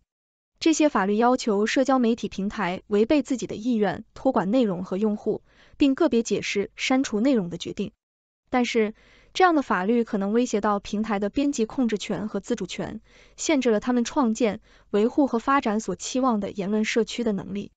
接下来，让我们转向欧盟面临的预算挑战。欧盟需要资金来支持经济增长和扩张计划。但目前的预算已经非常紧张，提高新的收入来源的提议也未能得到支持，这将对欧盟的项目成功和稳定造成问题。欧盟下一任委员会主席将需要解决这些预算问题，确保欧盟能够继续顺利运行。再来，让我们看看德国极右翼的崛起。最近，德国的地方选举显示，德国各地的极右翼和民粹主义情绪正在上升。这对德国的欧洲邻国尤其令人担忧，因为德国有着黑暗的二十世纪历史。德国极右翼的崛起对其政党和社会带来了分裂，并限制了政治空间。为了应对这个问题，德国政府需要重新赢得选民的信任，并采取措施解决人们的不满。接下来，让我们来谈谈以色列和哈马斯的冲突。最近的冲突使该地区的局势变得更加动荡不安。国际社会应该团结起来，呼吁立即停火，并解决该地区的人道主义悲剧。我们希望双方能够冷静下来，并开始政治谈判，寻求解决方案。最后，让我们谈谈中国“一带一路”政策的转变。中国的一带一路倡议在过去一年中面临了许多挑战，包括投资下降和经济放缓。中国对该倡议的目标也发生了变化，重点放在更小、更有针对性的项目上。发展中国家可能会承受这个转变的主要压力。以上是我对这些新闻的简要分析和观点。现在我想邀请大家一起来参与讨论，你有什么样的想法？谢谢您的收看。上面播报的内容是六度团队推荐的全球专业媒体、智库、政府机构和行业专家的最新报道、分析简报。更详细的内容，请大家去这些媒体、智库的网站阅读。这些内容并不一定反映六度简报的立场，亦不能作为任何决策的建议。六度团队由专业媒体人、学者、科学家组成的独立新型媒体，大家可以根据自己的专业要求订阅各种简报。网址是六度 brief 点 com。您在世界任何地方都可以通过电邮收到六度简报。欢迎大家收看华尔街电视简报。我们现在给大家播报的主要内容包括。国际货币基金组织表示，全球经济衰退的担忧是没有根据的。国际货币基金组织认为，全球经济更有可能实现软着陆。国际货币基金组织下调了对中国经济增长的预测，因为世界经济出现分化。是时候让泰国的新政府言行一致，进行改革了。马克·卡尼可能会成为一位出色的首相。下一个是谁？以及其他十月十日的读者来信。等等，请大家收看。国际货币基金组织表示，全球经济衰退的担忧是没有根据的。卫报，国际货币基金组织 IMF 表示，由乌克兰战争和生活成本危机引发的全球经济衰退的担忧是没有根据的，因为近年来经济增长表现出了显著的韧性。IMF 更新了其世界经济展望报告。指出，全球经济增长预计从二零二二年的百分之三点五下降至今年的百分之三，并在二零二四年降至百分之二点九。预计英国将成为七国集团 G 七中除德国外经济增长最弱的国家，并在2024年以百分之零点六的增长率排名垫底。国际货币基金组织认为，全球经济更有可能实现软着陆。CNN 国际货币基金组织 IMF 警告称，尽管中央银行在不引发全球经济衰退的情况下更有可能控制通胀，但经济增长仍然疲软且不稳定。IMF 将今年全球增长预测维持在百分之三，但将2024年的增长预测下调至百分之二点九。该机构表示，全球经济艰难前行，风险向下倾斜。IMF 还警告称，通胀将继续下降，但在大多数情况下，直到2025年才能恢复到中央银行的目标水平。国际货币基金组织下调了对中国经济增长的预测，因为世界经济出现分化。日经亚洲，国际货币基金组织 IMF 下调了对中国经济在2023年和2024年的增长预测。IMF 表示，中国的房地产危机以及消费者和企业信心的疲软对全球经济构成了重大风险。IMF 现在预计，中国经济今年将增长百分之五，2024年将增长百分之四点二，分别比其七月份的先前预测下调了零点一和零点二个百分点。IMF 还警告称，中国的房地产危机可能会加剧，并对全球商品出口国造成溢出效应。是时候让泰国的新政府言行一致，进行改革了。日经亚洲，泰国总理 Srettha Thavisin 是一位前房地产大亨，他面临着重振受 COVID 十九疫情严重打击的国家经济的压力。政府已宣布一系列经济刺激措施，包括向每位十六岁或以上的泰国人发放一万泰铢（二百七十一美元）的数字现金补贴。然而，人们担心刺激措施将如何资助，以及政府是否会解决重要的结构性问题。为了实现政府雄心勃勃的百分之五年度经济增长目标，泰国需要吸引更多外国直接投资，并实施全面的改革。马克·卡尼可能会成为一位出色的首相。下一个是谁？以及其他十月十日的读者来信。加拿大环球邮报，环球邮报的读者对最近的文章发表了各种不同的观点。一位读者认为，前加拿大和英国央行行长马克·卡尼将成为一位出色的总理，但在加拿大选举制度下可能会遇到困难。另一位读者赞扬该报揭露政府腐败的努力，而第三位读者则强调地方政府的保密性。另一位读者认为，保守派对变革感到不适，因此难以解决复杂问题。而第五位读者则认为，自由党议员 Ted Su 不应被忽视作为密西沙加市市长候选人。第六位读者质疑跨山书有管道三百亿美元的成本，并建议这笔钱可以更好的用于绿色倡议、医疗改革和解决经济适用房问题。最后，另外两位读者讨论了利率上调的影响以及保护生物多样性的重要性。由于以色列哈马斯战争，全球石油价格会继续上涨吗？半岛电视台，油价上涨，人们担心以色列和哈马斯之间的冲突会对中东能源生产产生影响。虽然以色列和加沙都不是主要的石油生产国，但市场担心这场冲突可能导致更广泛的地区不稳定。对能源价格的直接影响可能有限，但如果冲突蔓延到其他国家，石油供应可能面临更大风险。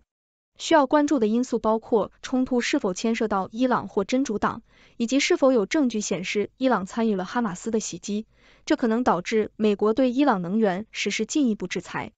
伦敦股市反弹，因国债收益率回落。路透社，周二，英国股市出现反弹，因美联储官员鸽派言论导致美国国债收益率回落，抵消了中东冲突的担忧。国际化的富时一百指数上涨了百分之零点九，而更多关注国内市场的富时二百五十指数上涨了百分之零点六。贵金属矿商股价上涨了百分之零点八，因黄金价格上涨，受到以色列和巴勒斯坦伊斯兰组织哈马斯之间冲突导致的市场不确定性的影响。美联储高层官员的鸽派言论对美元和国债收益率产生了压力。表明，美国长期国债收益率上升可能会使美联储放缓其短期政策利率的进一步提高。工业金属矿商股价也上涨了百分之零点六，因铜价上涨。九月份，由于对利率的担忧，外资流出冲击了亚洲股市。路透社，九月份，亚洲股市出现大规模的外资流出，原因是对美国的高利率和国债收益率激增表示担忧。来自台湾、印度、韩国、印度尼西亚、菲律宾、泰国和越南的证券交易所的数据显示，外国投资者在上个月抛售了价值一百一十二点六亿美元的地区股票，这是自二零二二年六月以来的最大流出。美联储在九月份维持了利率不变，但预计年底会加息，引发了对紧缩货币政策以应对通胀压力的担忧。MSCI 亚太指数在九月份下跌了百分之二点九，并创下了六个月来的最低点。各位观众朋友们，大家好，我是来自六度世界的六博士，是您每周为您带来六度简报的观察员。在本期的新闻中，我们看到了国际货币基金组织 IMF 对全球经济的评估和预测。IMF 表示，全球经济衰退的担忧是没有根据的，并认为全球经济更有可能实现软着陆。然而，他们也指出了一些风险和挑战，例如通胀和中国经济增长下调的问题。同时，我们还关注到泰国新政府和加拿大政治局势的发展。泰国新政府面临着振兴经济、吸引外国投资和实施改革的压力。至于加拿大，读者们对政府的表现和未来发展提出了各种不同的观点和问题。此外，我们还关注到中东地区局势对全球石油价格的影响，以及英国股市和亚洲股市受到的外资流出的冲击。总的来说，这些新闻提醒我们，经济和政治都是充满变数和风险的。我们需要时刻关注世界的变化，以便做出明智的决策。现在，我邀请各位观众朋友们一起参与讨论。你有什么样的想法？你对这些新闻有什么看法和疑问？请留言和我们分享，我们将一起探讨这些问题。谢谢收看，我是六博士，下次见。谢谢您的收看。上面播报的内容是六度团队推荐的全球专业媒体、智库、政府机构和行业专家的最新报道、分析简报。更详细的内容，请大家去这些媒体、智库的网站阅读。这些内容并不一定反映六度简报的立场，亦不能作为任何决策的建议。六度团队由专业媒体人、学者、科学家组成的独立新型媒体，大家可以根据自己的专业要求订阅各种简报。网址是。六度 brief 点 com，您在世界任何地方都可以通过电邮收到六度简报。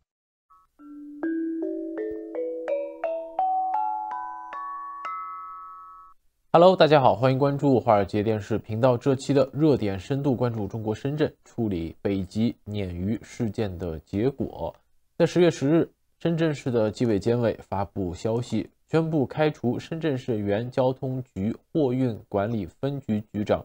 钟根次的中共党籍待遇降级。通告提到，钟根次对党不忠诚、不老实，多次串供、对抗组织审查、借机敛财，违规从事盈利的活动，未经批准违规兼职，利用职务便利为他人谋取利益，非法收受他人财物。经决定给予开除党籍、收缴违法所得，按二级科员的确定其退休待遇。那根据媒体的报道，这位中根次正是此前北极鲶鱼炫富事件的主角，网名 ID 为北极鲶鱼的爷爷。那还是先来回顾一下北极鲶鱼事件的前因后果。这是一场炫富引发的一个全民调查。在二零二三年的三月，微博昵称这个微博新浪微博昵称为北极鲶鱼的网网友在网络上炫富。侮辱网民，还称自己的爷爷呢是前深圳交通运输局的局长，家中存款达到九位数，多次使用“支那”等词侮辱反驳他的网民。该网民呢还是晒出家中长辈多年前与领导的合影，这被质疑是炫富，家中涉贪腐等问题。再加上他发布微博的时候，IP 上显示为澳大利亚，事件随后是在网络上发酵。在二零三月二十四日，深圳交通运输局发布了通报，称啊将会调查这整起事件。在二零二三年的三月二十四日，中根次回应了中国新闻周刊这家媒体，称啊家中有九位数的说法不实，表示自己二零零七年就已经退休，曾任深圳区级交通局局长。他说自己是老老实实就这样干到退休。目前相关单位正在介入调查。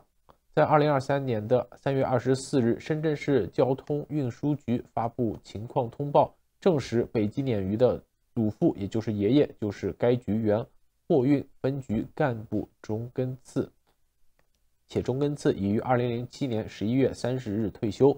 该局将就相关信息开展核查，及时通报有关的情况。那自深圳市交通运输局三月发布情况通报之后，中国的大大小小的媒体是多次致电该局询问相应的调查进展。有媒体在八月份就询问深圳市纪委监委该事件调查进展，得到的回复是后续情况等待通知。在九月十日的时候，人民网深圳频道在深这个社交平台发布的深圳市交通运输局的文件就显示，有网友在八月向该局申请北极鲶鱼事件信息公开。深圳市交通局则回应说，所申请的信息，这个所申请公开的信息呢，不属于公开法定的公开内容，决定是不予公开。在中国官媒中新社微博一条国事直通车在二零二三年三月这个九月十五日发表评论文章，就质问该事件从及时通报变成了不予公开，那到底是有难言之隐，还是另有猫腻？文章呼吁，此次事件需要给公众一个更加详细、更加正面回应问题的通报。中新社在微博发起的投票调查显示，有超过九成的网民认为这个北极鲶鱼事件应公布结果。尽管有媒体引述法律人士解释，网民以申请政府信息信息公开的形式向深圳市交通局申请公开北极鲶鱼事件的调查结果是用错了方法。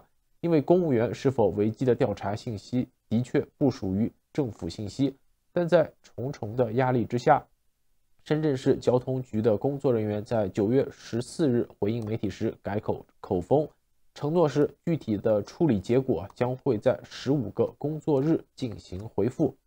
那接下来就是这个漫长的倒数计时，在网民和媒体的共同倒数中。深圳市的纪委监委在十月十日，也就是九月十四日后的第十五个工作日，终于是发布了上述的处理结果。那公开资料显示，这个钟根次，一九四七年十一月生，是深圳宝安人，大专学历，历任深圳市原运输局福田分局的副局长、局长，深圳市原运输局罗湖分局局长，深圳市原交通局货运管理分局局长，在二零零七年十一月退休。而北极鲶鱼的微博言论其实不只是单纯的炫富和炫耀特权，他还用挑衅、涉嫌辱华的字眼呢，是直接挑衅广大的网民，践踏网民的尊严及其这个扭曲的价值观，是直接在网络上进行宣扬。他在微博中是高调晒出自己的爷爷二三十年前公派出国，说啊和他的正师级好友以及市局的领导的合照，并在这个。括弧里注明，还有一个交通部长膜拜大佬。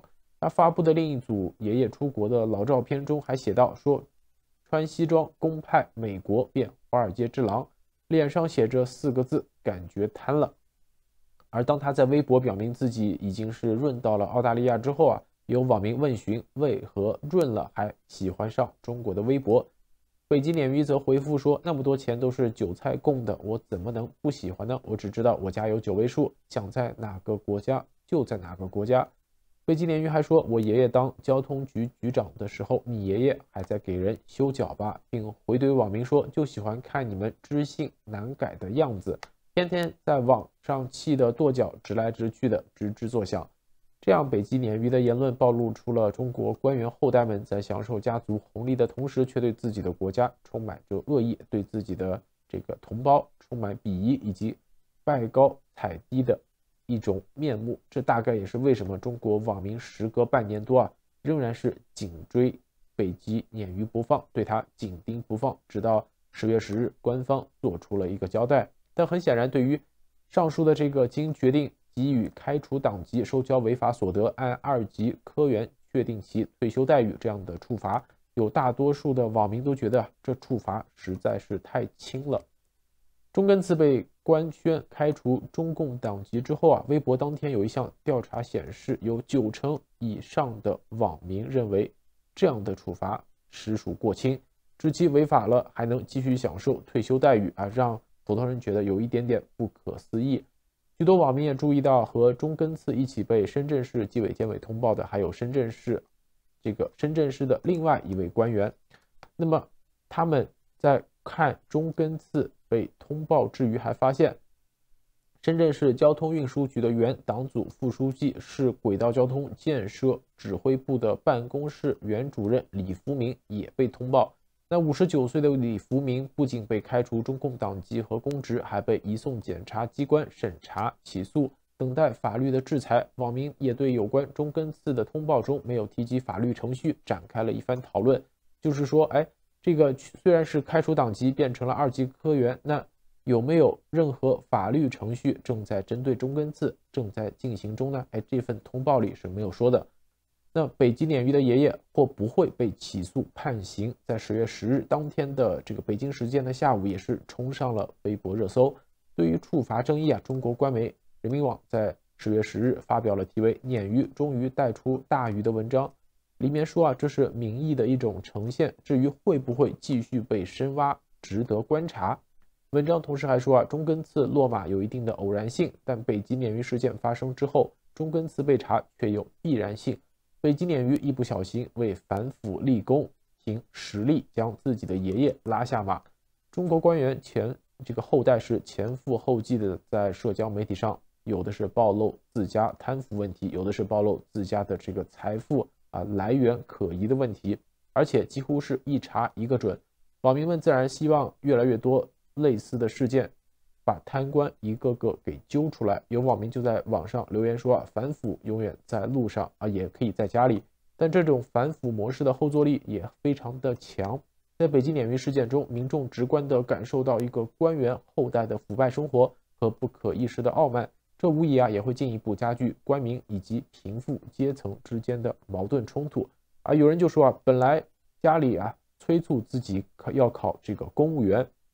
一直觉得不能理解，但借助着这个北极鲶鱼以及北极鲶鲶鱼爷爷事件这样的一个九位数，也仅仅是被开除党籍，还能保留一个二级科员的退休待遇啊，也是想有了这个呃下决心去考公务员的冲动。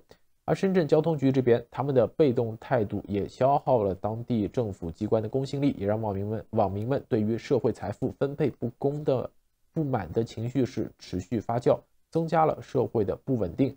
而从过去的三小三举报到近来的这个红二代、红三代、红四代，甚至拿石头砸自己的脚，其实本质呢都是非制度性的事后反腐。更具成效的制度性反腐，应从防止腐败上下功夫，或至少从加强事前预警机制着手，才能走出一个啊我们看到的一查一个准的怪圈。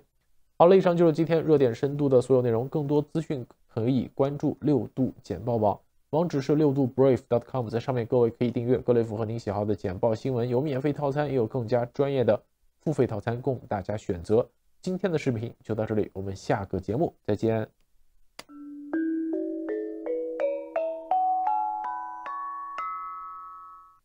欢迎大家收看华尔街电视简报，我们现在给大家。播报的主要内容包括：喜应该知道为什么市场信心没有恢复。联邦储备银行总裁卡什卡里软着陆在望，但风险仍然存在。AASX 预计在利率乐观情绪推动下上涨，石油下跌。独家：国际货币基金组织认为可以增加资金支持，而无需改变股权分配。以色列政府寻求为航空公司提供可能的战争风险保险的保障。等等，请大家收看。喜应该知道为什么市场信心没有恢复。日经亚洲，中国国家主席习近平面临一个两难选择，因为改善的经济数据未能安抚国际投资者的紧张情绪。过去，中国刺激经济增长的举措很快恢复了市场信心，之前的经历导致上证指数反弹，人民币稳定。然而，这一次。工厂活动改善的迹象和通缩压力的缓解，并没有让国际资金感到欣慰。北京方面稳定房地产市场和提振家庭需求的努力，也未能达到预期效果。因此，中国正经历多年来最严重的资本外流。外国投资者在七月至九月期间净抛售了八百零一亿元人民币（一百二十六亿美元）的中国内地股票。恒生指数也低于今年一月份的水平，当时中国因为抗击新冠疫情而成为头条新闻。联邦储备银行总裁卡什卡里，软着陆在望，但风险仍然存在。路透社，明尼阿波利斯联邦储备银行行长尼尔卡什卡里认为。美国经济正朝着软着陆的方向发展，即通胀回落至美联储的百分之二目标，而失业率不会急剧上升。卡什卡里表示，迄今为止，就业市场和经济对美联储的加息措施表现得比预期更为坚韧。然而，他警告称，如果经济保持强劲，美联储可能需要进一步加息以放缓经济增长，这可能导致更为严重的着陆。卡什卡里强调，现在宣布胜利还为时过早。ASX 预计在利率乐观情绪推动下上涨，石油下跌。悉尼先驱晨报预计澳大利亚股市将在华尔街积极交易后开盘。标普五百指数和纳斯达克指数在美联储官员表示央行可能停止进一步加息后达到三周高点。澳交所期货上涨百分之零点五，达到七千一百零八点。澳元对美元保持稳定在六十四点二二美分。十年期国债收益率也从十六年高点下降，表明债券收益率下降。然而，由于中东冲突和对美国潜在衰退的担忧，投资者仍然谨慎。独家，国际货币基金组织认为可以增加资金支持，而无需改变股权分配。路透社，国际货币基金组织 IMF 在最近在摩洛哥举行的会议上得到了对增加配额贷款资源的美国支持。而不改变其股权结构的重要支持。然而，IMF 总裁克里斯塔利娜·乔尔基耶娃表示，他希望设定一个截止日期，以便必要的重新调整危机贷款机构的股权结构，以反映较大新兴市场经济体的增长。以色列政府寻求为航空公司提供可能的战争风险保险的保障。路透社。以色列国会财政委员会将就为以色列航空公司批准国家担保的战争风险保险进行辩论。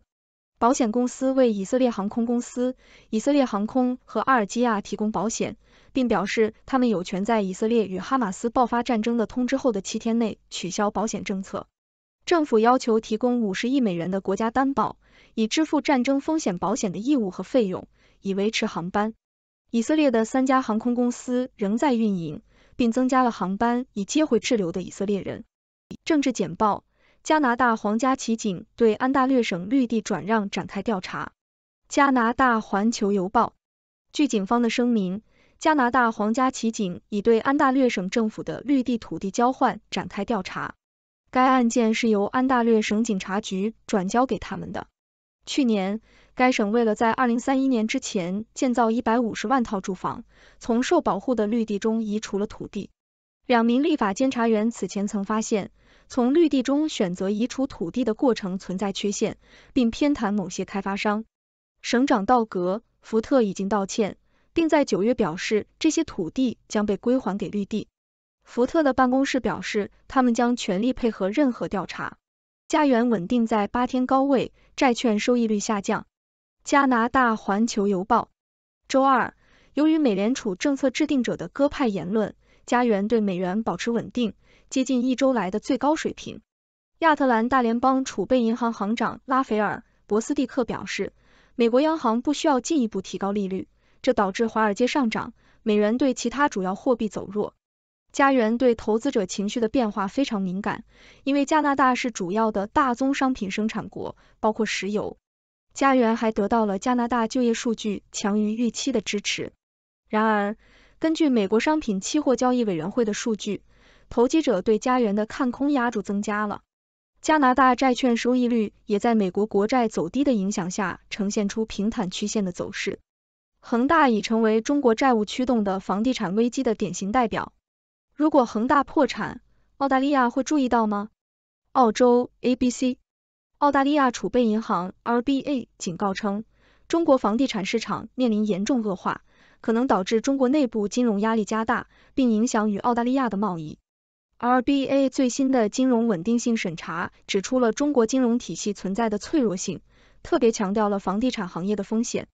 中国房地产市场占据了该国经济增长的约百分之三十。RBA 警告称，房地产行业的问题可能导致全球经济放缓、大宗商品价格下跌，以及中国对澳大利亚商品和服务的进口减少。中国的主要房地产开发商，包括恒大，面临重大挑战。恒大欠投资者超过三千亿美元，已经错过了偿还债务的最后期限，并面临高管涉嫌犯罪的指控。RBA 指出，尽管中国金融体系与发达经济体银行系统之间的直接联系有限，但澳大利亚不会免于受到影响。中国的金融压力可能导致全球经济活动放缓、大宗商品价格下跌，以及中国对澳大利亚商品和服务的进口减少。各位观众朋友们，大家好，我是来自六度世界的六博士，是常驻六度简报的观察员。今天我们要谈谈几个国际经济新闻。看看这些事件对全球经济的影响。首先，我们看到中国国家主席习近平面临一个两难选择。尽管中国经济数据有所改善，但国际投资者的信心并未恢复。过去，中国的刺激措施通常能够迅速恢复市场信心，但这一次却未能达到预期效果。中国正经历多年来最严重的资本外流，这对中国经济来说是个巨大的挑战。接下来，我们看到美国联邦储备银行总裁卡什卡里认为，美国经济正在朝着软着陆的方向发展。尽管就业市场和经济表现的比预期更为坚韧，但卡什卡里警告称，如果经济保持强劲，美联储可能需要进一步加息以放缓经济增长，这可能导致更为严重的着陆。在澳大利亚，股市预计将在利率乐观情绪的推动下上涨。然而，由于中东冲突和对美国潜在衰退的担忧，投资者仍然谨慎。国际货币基金组织在最近的会议上得到了美国对增加配额贷款资源的支持，而不改变其股权结构。然而，IMF 总裁乔尔基耶娃表示，他希望设定一个截止日期，以便必要的重新调整危机贷款机构的股权结构，以反映较大新兴市场经济体的增长。在中东地区，以色列政府正在寻求为航空公司提供可能的战争风险保险的保障，这反映了该地区的不稳定局势对航空业的影响。在加拿大，警方正在调查安大略省政府的绿地土地转让案件，这引发了对政府处理土地交换的公正性的质疑。最后，我们注意到澳大利亚储备银行警告称，中国房地产市场面临严重恶化的风险。可能对与澳大利亚的贸易产生影响。中国的金融压力可能导致全球经济放缓、大宗商品价格下跌，以及中国对澳大利亚商品和服务的进口减少。综上所述，当前全球经济面临着许多挑战和不确定性。各国政府和央行需要密切关注经济形势，并及时采取措施来稳定市场和促进经济增长。同时，我们作为观众也应该关注这些事件的发展，并思考对我们个人和社会的影响。你有什么样的想法呢？欢迎大家参与讨论并提问。谢谢。本文仅代表个人观点，不构成投资建议。谢谢您的收看。上面播报的内容是六度团队推荐的全球专业媒体、智库、政府机构和行业专家的最新报道、分析简报。更详细的内容，请大家去这些媒体智库的网站阅读。这些内容并不一定反映六度简报的立场，亦不能作为任何决策的建议。六度团队由专业媒体人、学者、科学家组成的独立新型媒体，大家可以根据自己的专业要求订阅各种简报。网址是六度 brief 点 com。您在世界任何地方都可以通过电邮收到六度简报。大家好，我是华尔街电视的小安，为大家主持一档新的节目《亚洲大眼睛》。什么样的内容，您慢慢看就知道了。根据富士新闻报道，印度马哈拉斯特拉邦一家医院日前传出令人不胜唏嘘的悲剧事件。短短二十四小时内，有多达二十四名患者死亡，包括十二名的新生儿，震惊社会及政界。反对派纷纷指责地方政府及院方疏忽过失，掀起一场政治风暴。根据了解，政府相关单位已经介入并调查该起事件。其中一名新生儿的家属尤格胜就指控，该间医院的新生儿病房非常拥挤，自己亲眼目睹一个保温箱竟然塞着五名婴儿。消息曝光后，引发外界哗然。纷纷质疑该间医院医疗资源缺乏。对此，医院院长西亚姆劳则反驳，医院的药物和医师是充足的，对新生儿都有提供照顾，强调是因为患者本身对治疗没有反应才丧命。印度最大反对派领袖拉胡尔甘地指责政府在宣传上花费了数亿卢比，却没有在儿童药物上投入任何资金。反对派政治人物纷纷指责总理莫迪为首的印度人民党及盟友领导的邦政府有严重疏忽，才导致婴儿集体死亡。最大反对党国民大会党主席就发文痛批，印度人民党花了数千卢比宣传，却没钱买药给婴儿。事实上，这已经是该邦近月来第二起的类似事件。塔纳地区一家公立医院八月底也曾有十八名患者在一天内死亡。印度公共医疗系统人力设备严重不足。世界卫生组织 （WHO） 数据就显示，医病比为零点七比一千，远低于世卫建议的一比一千。印度全民免费医疗。那印度是全球最大的免费医疗体系之一，该体系覆盖了全国百分之九十的人口，为民众提供了基本的医疗服务。根据印度宪法，所有印度人都享有公立医院接受免费医疗的权利。印度人的预期寿命从不到三十三岁暴涨到现在的六十九岁，这在医疗救助上达到了相对公平的水平。根据世界卫生组织对全球一百九十多个国家卫生筹资与分配公平性调查的结果，印度高居榜单上的第四十三名，比中国还要高。这意味着印度在医疗救助方面的投入和分配是相对公平的。网易号上有文章就指出，世界上没有免费的午餐。印度政府实行免费医疗，意味着政府需要巨额的财政支出。但是诡异的是，印度政府的医疗支出在世界上处于下游的水平，比巴基斯坦还要低。那印度如何实现医疗救助公平呢？印度的免费医疗包括了一药品免费，印度政府提供免费的基本药品，包括抗生素、退烧药、止痛药等等。而这些药品是由印度政府的药品管理局统一采购，然后通过医院或药店免费提供给民众。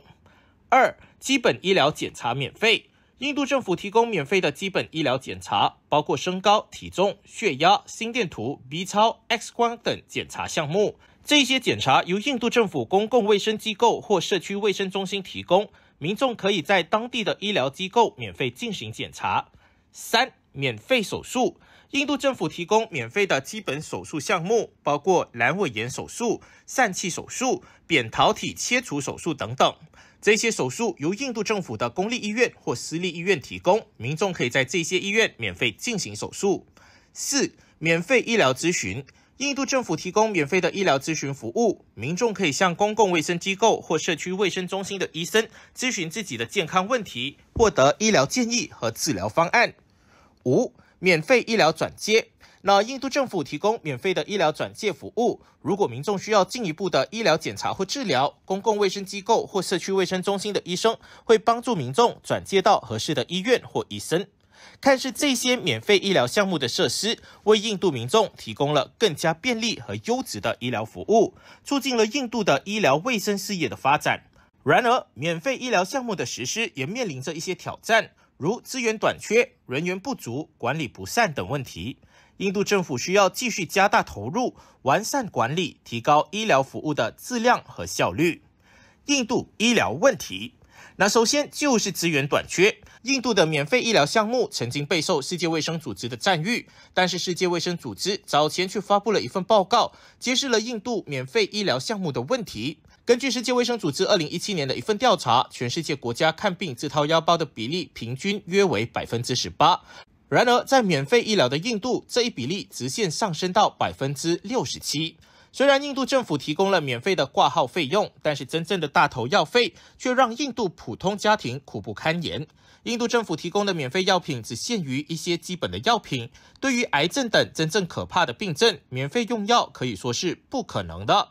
过去三十年间，印度公立医院为病人提供免费药物的比例下降了近二十二个百分点，接近九成的药物需要自掏腰包，要么公立医院压根不提供，只能跑到其他价格昂贵的私立医院购买。很多贫穷的印度家庭无法承受昂贵的药费，只能眼睁睁地看着亲人病重甚至死亡。第二大问题是人员不足。印度实施免费医疗政策，但由于免费医疗仅限于公立医院，这导致公立医院人满为患，医生比例到达了一比一千五百。在印度的一些大城市里，例如德里、孟买和班加罗尔，只有一家公立医院，但有数百万人的人口，公立医院常常出现几百人围绕着门诊的情况。即使是免费的，要获得治疗也是非常困难的。然而，在无法应付所有病人的情况下，印度只好开放私立医院。自从1990年公立医院开始入不敷出，医疗系统趁机推动私有化。私立医院是由私人投资建设和营运的，在医疗资源和条件上比公立医院更有优势。私立医院的医生和设备更好，医疗技术和服务质量也更高，因此更容易获得患者的信任和支持。然而，私立医院的发展也给印度医疗体系带来了很多问题。由于私立医院采用的是商业化经营模式，因此价格高昂，一般民众难以承受。此外，私立医院之间也存在着严重的竞争，一些不良商家为了获得更多的患者，甚至会采取不正当的手段，例如提供虚假宣传、误导患者、延误治疗等等，这对患者的健康和安全带来了极大的威胁。印度政府也认识到了私立医院带来的问题，并且采取了一系列措施来促进公立医院的发展和改革。政府已经推出了多项计划，例如扩建公立医院、提高医生和护士的工资待遇、改善医疗设备等等，以提高公立医院的服务质量和效率。印度政府还加强了对私立医院的监管，打击虚假宣传、不正当竞争等行为，以保障患者的权益和利益。总的来说，印度的免费医疗项目虽然给民众提供了一定的医疗保障，但由于限制于公立医院，导致资源短缺和分配不均，私立医院的发展也存在很多问题。医德问题，尽管印度政府推行了免费医疗项目，但是由于医疗资源分配不均和私立医院的兴起，许多印度人民无法承受高昂的药费和治疗费用，甚至导致家庭破产。有些医生为了个人利益，会给病人开一些昂贵的药物，甚至是没有必要的药物，这给患者带来了很大的负担。印度影星阿米尔汗曾经在一档节目中就讲述过印度医疗体系的问题。他指出，一些医生为了自己的收入，不顾情况为病人开各种昂贵的药物，这给患者带来了极大的负担，甚至导致家庭破产。印度政府也意识到了这个问题的严重性，并采取了一系列措施来解决。那政府已经加大了对医疗体系的投入，提高了医生和护士的待遇和福利，同时也加强了对私立医院的监管，打击虚假宣传、不正当竞争等行为，以保证患者的权益和利益。既然这么差的免费医疗，到底是什么让印度人的预期寿命从不到三十三岁暴涨到现年的六十九岁了呢？答案是仿制药。印度的仿制药产业非常发达。作为全世界排行前列的仿制药大国，印度以三千家仿制药企业为核心，占据了全球五分之一的仿制药市场。印度仿制药产业之所以能够如此发达，与印度政府的政策支持密不可分。印度政府在政策上给予本土药企以各种方便之门，在专利原创上不遵循国际准则，允许药企不顾知识产权仿冒欧美专利药物，这使得印度仿制药企业迅速发展壮大。仿制药是一种与原研药物具有相似活性成分、剂型、剂量和安全性的药品。由于仿制药价格相对便宜，许多印度人都选择购买印度仿制药来治疗疾病，这也使得印度仿制药在全球范围内广受欢迎。然而，仿制药产业也存在着一定的问题。首先，仿制药的质量和安全性是否与原研药物相当，还需要进一步的研究和验证。其次，仿制药产业的发展也受到一定的批评，因为仿制药企业不顾知识产权而进行仿冒，这种行为有悖于国际知识产权的保护准则，并且可能会导致研发创新能力的下降。最后，仿制药在一定程度上也影响了原研药物的市场份额，这可能会导致原研药物研发资金和资源的减少，从而影响了新药的研发和推广。因此，印度仿制药产业需要更加规范和可持续的发展。印度政府可以加强对仿制药产业的监管，确保其质量和安全性，同时也需要更好的保护原研药物的知识产权，鼓励创新和研发。同时，印度政府也可以加强与其他国家和国际组织的合作，分享医学技术和知识，促进全球医疗卫生的发展和提高。总的来说，印度的仿制药产业在一定程度上解决了印度人民的医疗需求，但是同时也面临着一些问题和挑战。谢谢大家，这就是本期亚洲大眼睛。希望听到您的意见，留言在节目下方。我想给大家谈谈几个问题啊。第一个，大家经常这个提到中国可不可以做世界领袖？那么，观众朋友大家好，欢迎收看今天的《新风视线》。在美国亚利桑那州凤凰城北郊的沙漠中，有一个工地，相当于六百四十个足球场的大小。从三十公里外的公路上就可以看到一片巨大的建筑群和周围的巨型起重机。这里就是台积电在美国新工厂的所在地台积电的一位美国工程师说建造如此巨大的工厂而且全部采用尖端技术这种情况很罕见台积电掌握着当今世界最先进的芯片生产技术控制着全球最先进定制芯片百分之九十的市场但是金融时报报道台积电斥资四百亿美元在亚利桑那州建造两座芯片工厂的项目现在却给公司带来了巨大的文化冲击使台积电在美国以美国为首的还有欧洲的一些国家到目前为止台积电仅。在台湾的大型工厂生产没有东方和西方如果有任何问题当地的研发人员就会将很多在地理上供应商的项的围绕在台积电台湾甚至印度周围像十年来一直台湾台积电这些国家它都可以对它的每一个新想法迅速的做出反应正是这种运转良好的模式帮助台积电大多数其他芯片公司都获得了更高的利润但是现在由于美国欧洲和日本越来越担心中国对台湾的攻击可能导致世界失去芯片供应这迫使台积电要分散它的工厂足迹除了亚亚利桑那州之外，台积电还在日本建立了一家新工厂，并且承诺在德国也会建立一座价值一百亿欧元的合资工厂。台积电的董事长刘德英在九月份表示，亚利桑那州是海外大型基地开发的第一个试验。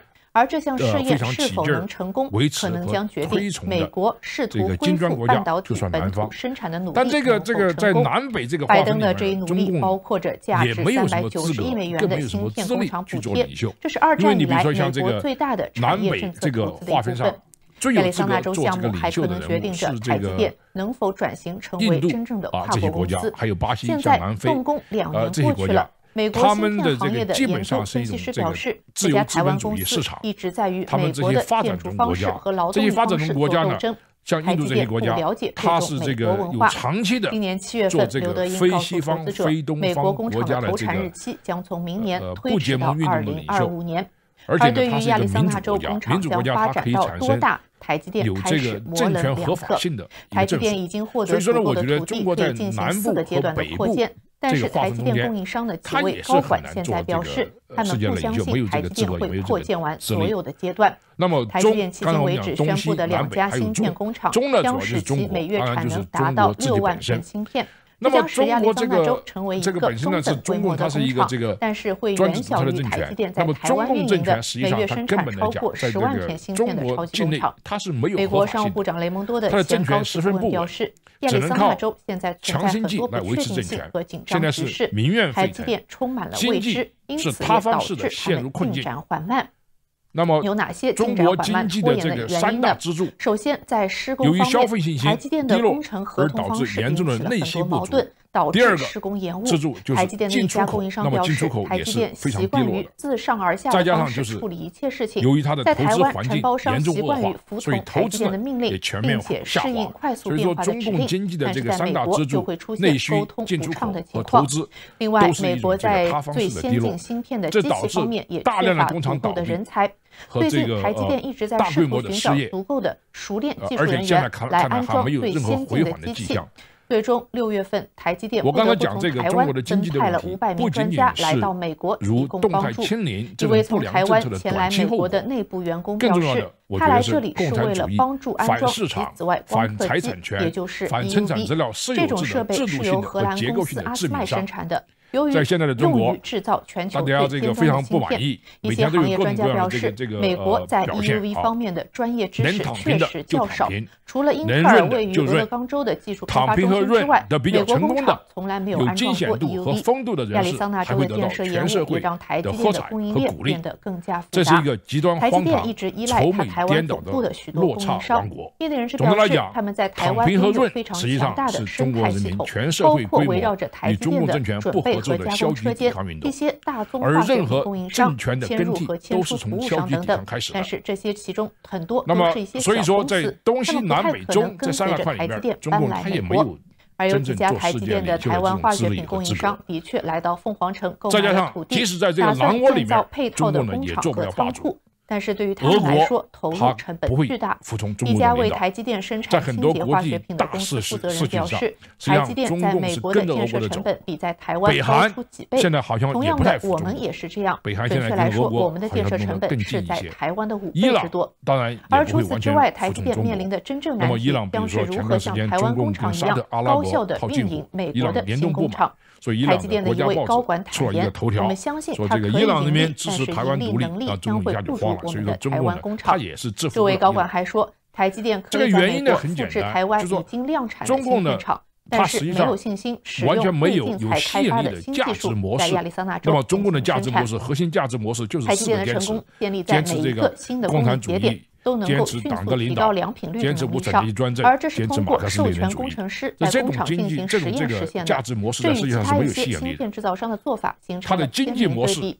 比如说，英特尔多年来一直是采用一种称为完全复制的方法，也就是每个新工厂都必须按照公司技术研发中心的精确参数来运行，任何偏离参数的请求都必须通过书面程序获得批准。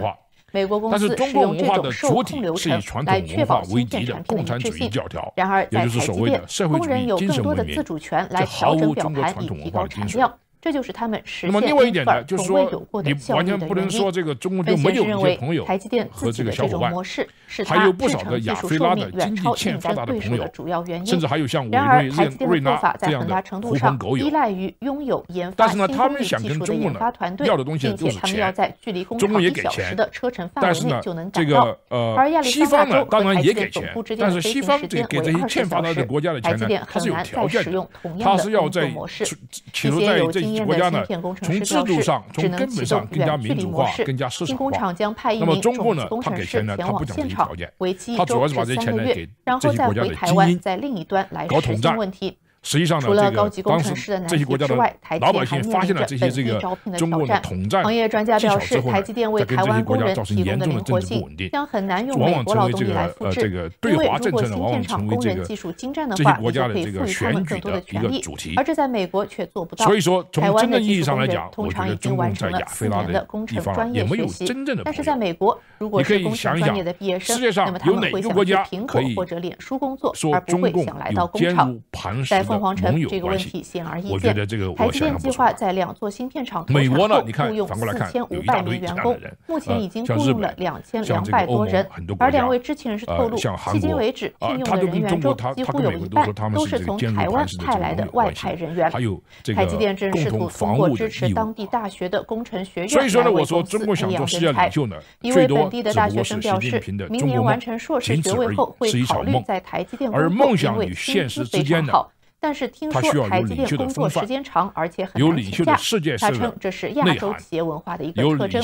大学生表示，如果台积电想在这里有吸引力，就需要更多的向英特尔学习。那么还有而说到亚洲文化，分析师表示，台积电的日本工厂的建设进展要比美国工厂顺利得多，因为彼此的文化更加的接近。台积电已经意识到这些深层次的差异。据知情人士透露，过去的十二个月中，已经约有六千名台积电员工接受了。跨文化培训本显示表示台积电建立声誉之后需要培养一支稳定可持续的当地劳动力队伍不能永远依赖台湾人来经营那么这个冷战的这个结束呢就是台积电在亚利桑那州的试验成功由于公司规模巨大将全球芯片生产从台湾旧区转移出去的影响仍然有限分析师和高管估计在美国工厂前两次达到满负荷生产以及日本和德国工厂竣工之后台湾以外生产的总销售额不太可能占台积电总收入的百分之十以上但是美国观察人士表示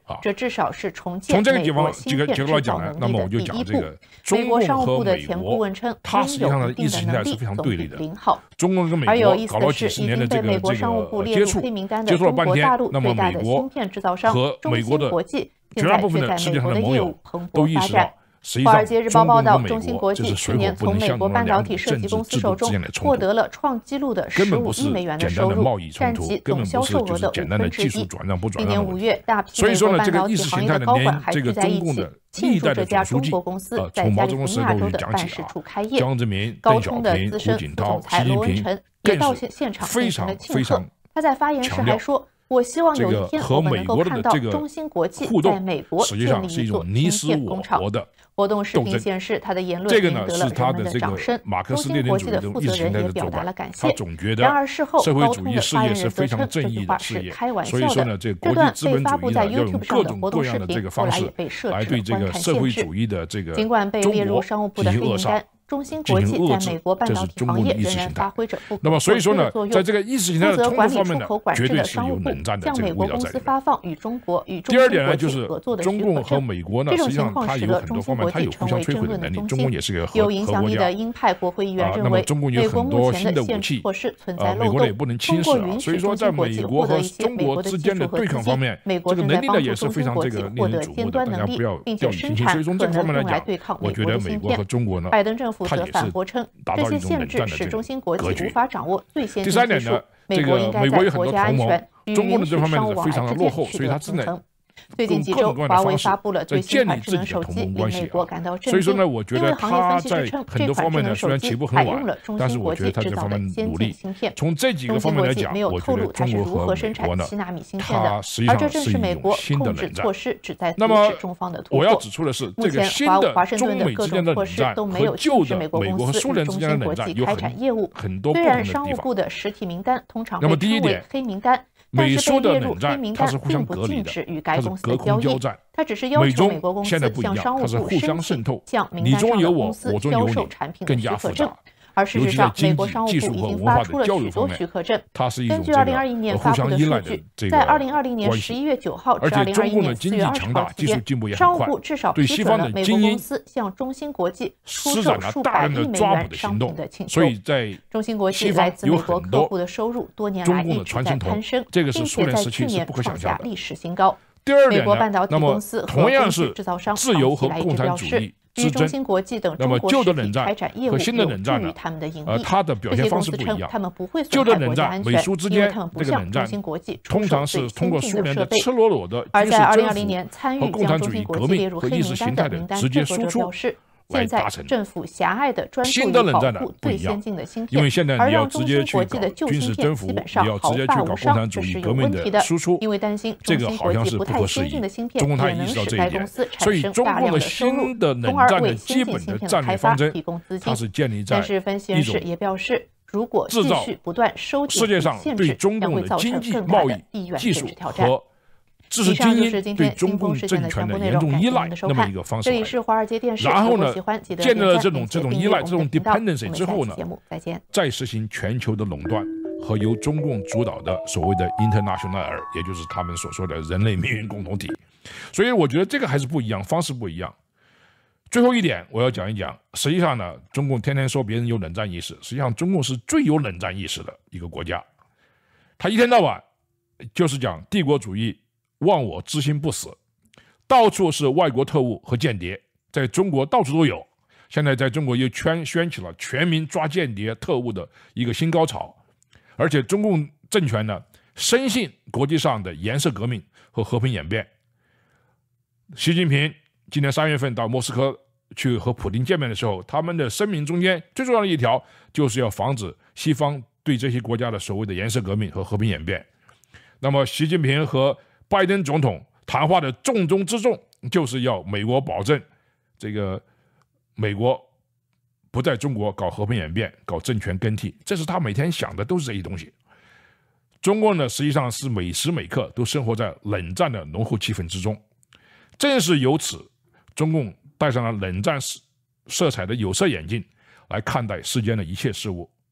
任何的国际批评，他都说这是国际社会对中共有冷战意识，国际社会对中共天安门大屠杀的谴责，对中共屠杀异议人士和少数民族人士，呃。反对中共偷窃经济技术和军事机密，甚至连中共的间谍间谍气球在美国领土被打下来，他也说这是美国的所谓的冷战意识在作怪。当然，这些都是托词了，完全是中共井底观天，以冷战之心夺君子之福，贼喊捉贼。但是呢，也不能说中共托词没有任何变化，他有很多话谎话不能自圆的时候呢，他也不得不改口。避免丢面子。你比如说，中共在八十年代、九十年代，甚至甚至二十一世纪初期的头十年，他经常讲，呃，中国政府必须要这个坚持所谓的生存权，也就是说，现在要发展经济，经济发达了，全国人民脱贫了，那么这这个时候呢，才能搞这个呃民主啊、自由、人权这些事情。这个中共他政府他不敢说了，你听你很少听到中国政府政府领导人现在在说这种话，为什么呢？因为习近平他说，在他的英明领导之下，全中国已经脱贫了，中国已经富强了，中国人民惹不起了。那么在这种情况下，那么民主、自由、人权是不是可以实现了？所以说这个是一个弥天大谎，他的谎言不能圆起来了，所以他现在不讲了啊。那么还有一个啊，你比如说中国政府这个在五六年之前，他经常讲，呃，美国对中国的什么批评，呃，中国人民绝对不答应。就是伤害了中国人民的这个这个这个呃呃心啊，这个现在也不怎么说了，因为呃这个吹来吹去呢，老百姓不同意了，呃你不可能说一方面说我们全面脱贫了，现在我们这个这个人权民主自由应该缓刑啊，还有一个你不能说这个中共现在这个全面脱贫了，但是中国的总理李克强说这个中国百分之四十的人口。生活在每个月一千元人民币的这种水平之上，那个是很贫困的一个一个呃一个数字。那么李克强总理说了这个数字之后呢，中国的国家统计局马上向新华社、向人民日报提供准确的这个支持的数据，说李克强总理讲的这话是对的。所以说，在欺骗和狡辩上呢，中共是手段多端、左右逢源，十分老练。那么说到中共国际上应对手段的与时俱进方面。那么我们最后再讲一讲这个正在进行的杭州亚运会。实际上，这个杭州亚运会啊，这是不折不扣的劳民伤财的面子工程。据各方面统计，中共在这个筹办亚运会方面，总共花了高达三千亿美元的巨款。中共想把这个亚运会办成展示自己国际领袖能力、给世界指明方向的盛会。他开始的时候呢，胃口很大。请了各方人马来捧场，包括一些根本就不是亚洲的国家，比如说俄罗斯和白俄罗斯、新西兰和澳大利亚。这本来就是违背了运动会的职业精神和职业道德，因为体育运动并不是政治运动，更不是大外宣的逢场作戏，所以遭到很多人的抵制。新西兰、澳大利亚在第一时间就说：“哦，不去了啊，没有兴趣。”而邀请俄罗斯和白俄罗斯来参加运动会。更是违背了运动的精神，所以遭到了十几个亚洲国家的抵制。一下子看来，好像这个社会办不下去了。所以中国呢，在与时俱进，改弦更张，十分丢面子的撤回了对俄罗斯和白罗俄罗斯的邀请，这样才勉勉强强拉开了序幕，开始了这场盛会。但是真正去到中国给习近平捧场的国家元首，实际上是寥寥无几，就那么十几号人。没有任何一位举足轻重的亚洲国家领袖出席。在这个杭州亚运会，最尊贵的领袖就是中共的反美英雄、叙利亚的独裁者阿萨德。连原来中共在亚洲很铁的盟友巴基斯坦和北朝鲜也没有派最高国家领袖去捧场。所以把政治运把这个，所以把体育运动政治化，实际上是很不得人心的。但是呢，中国能够改弦更张，还是。有一点与时俱进的进步，这一点值得表扬。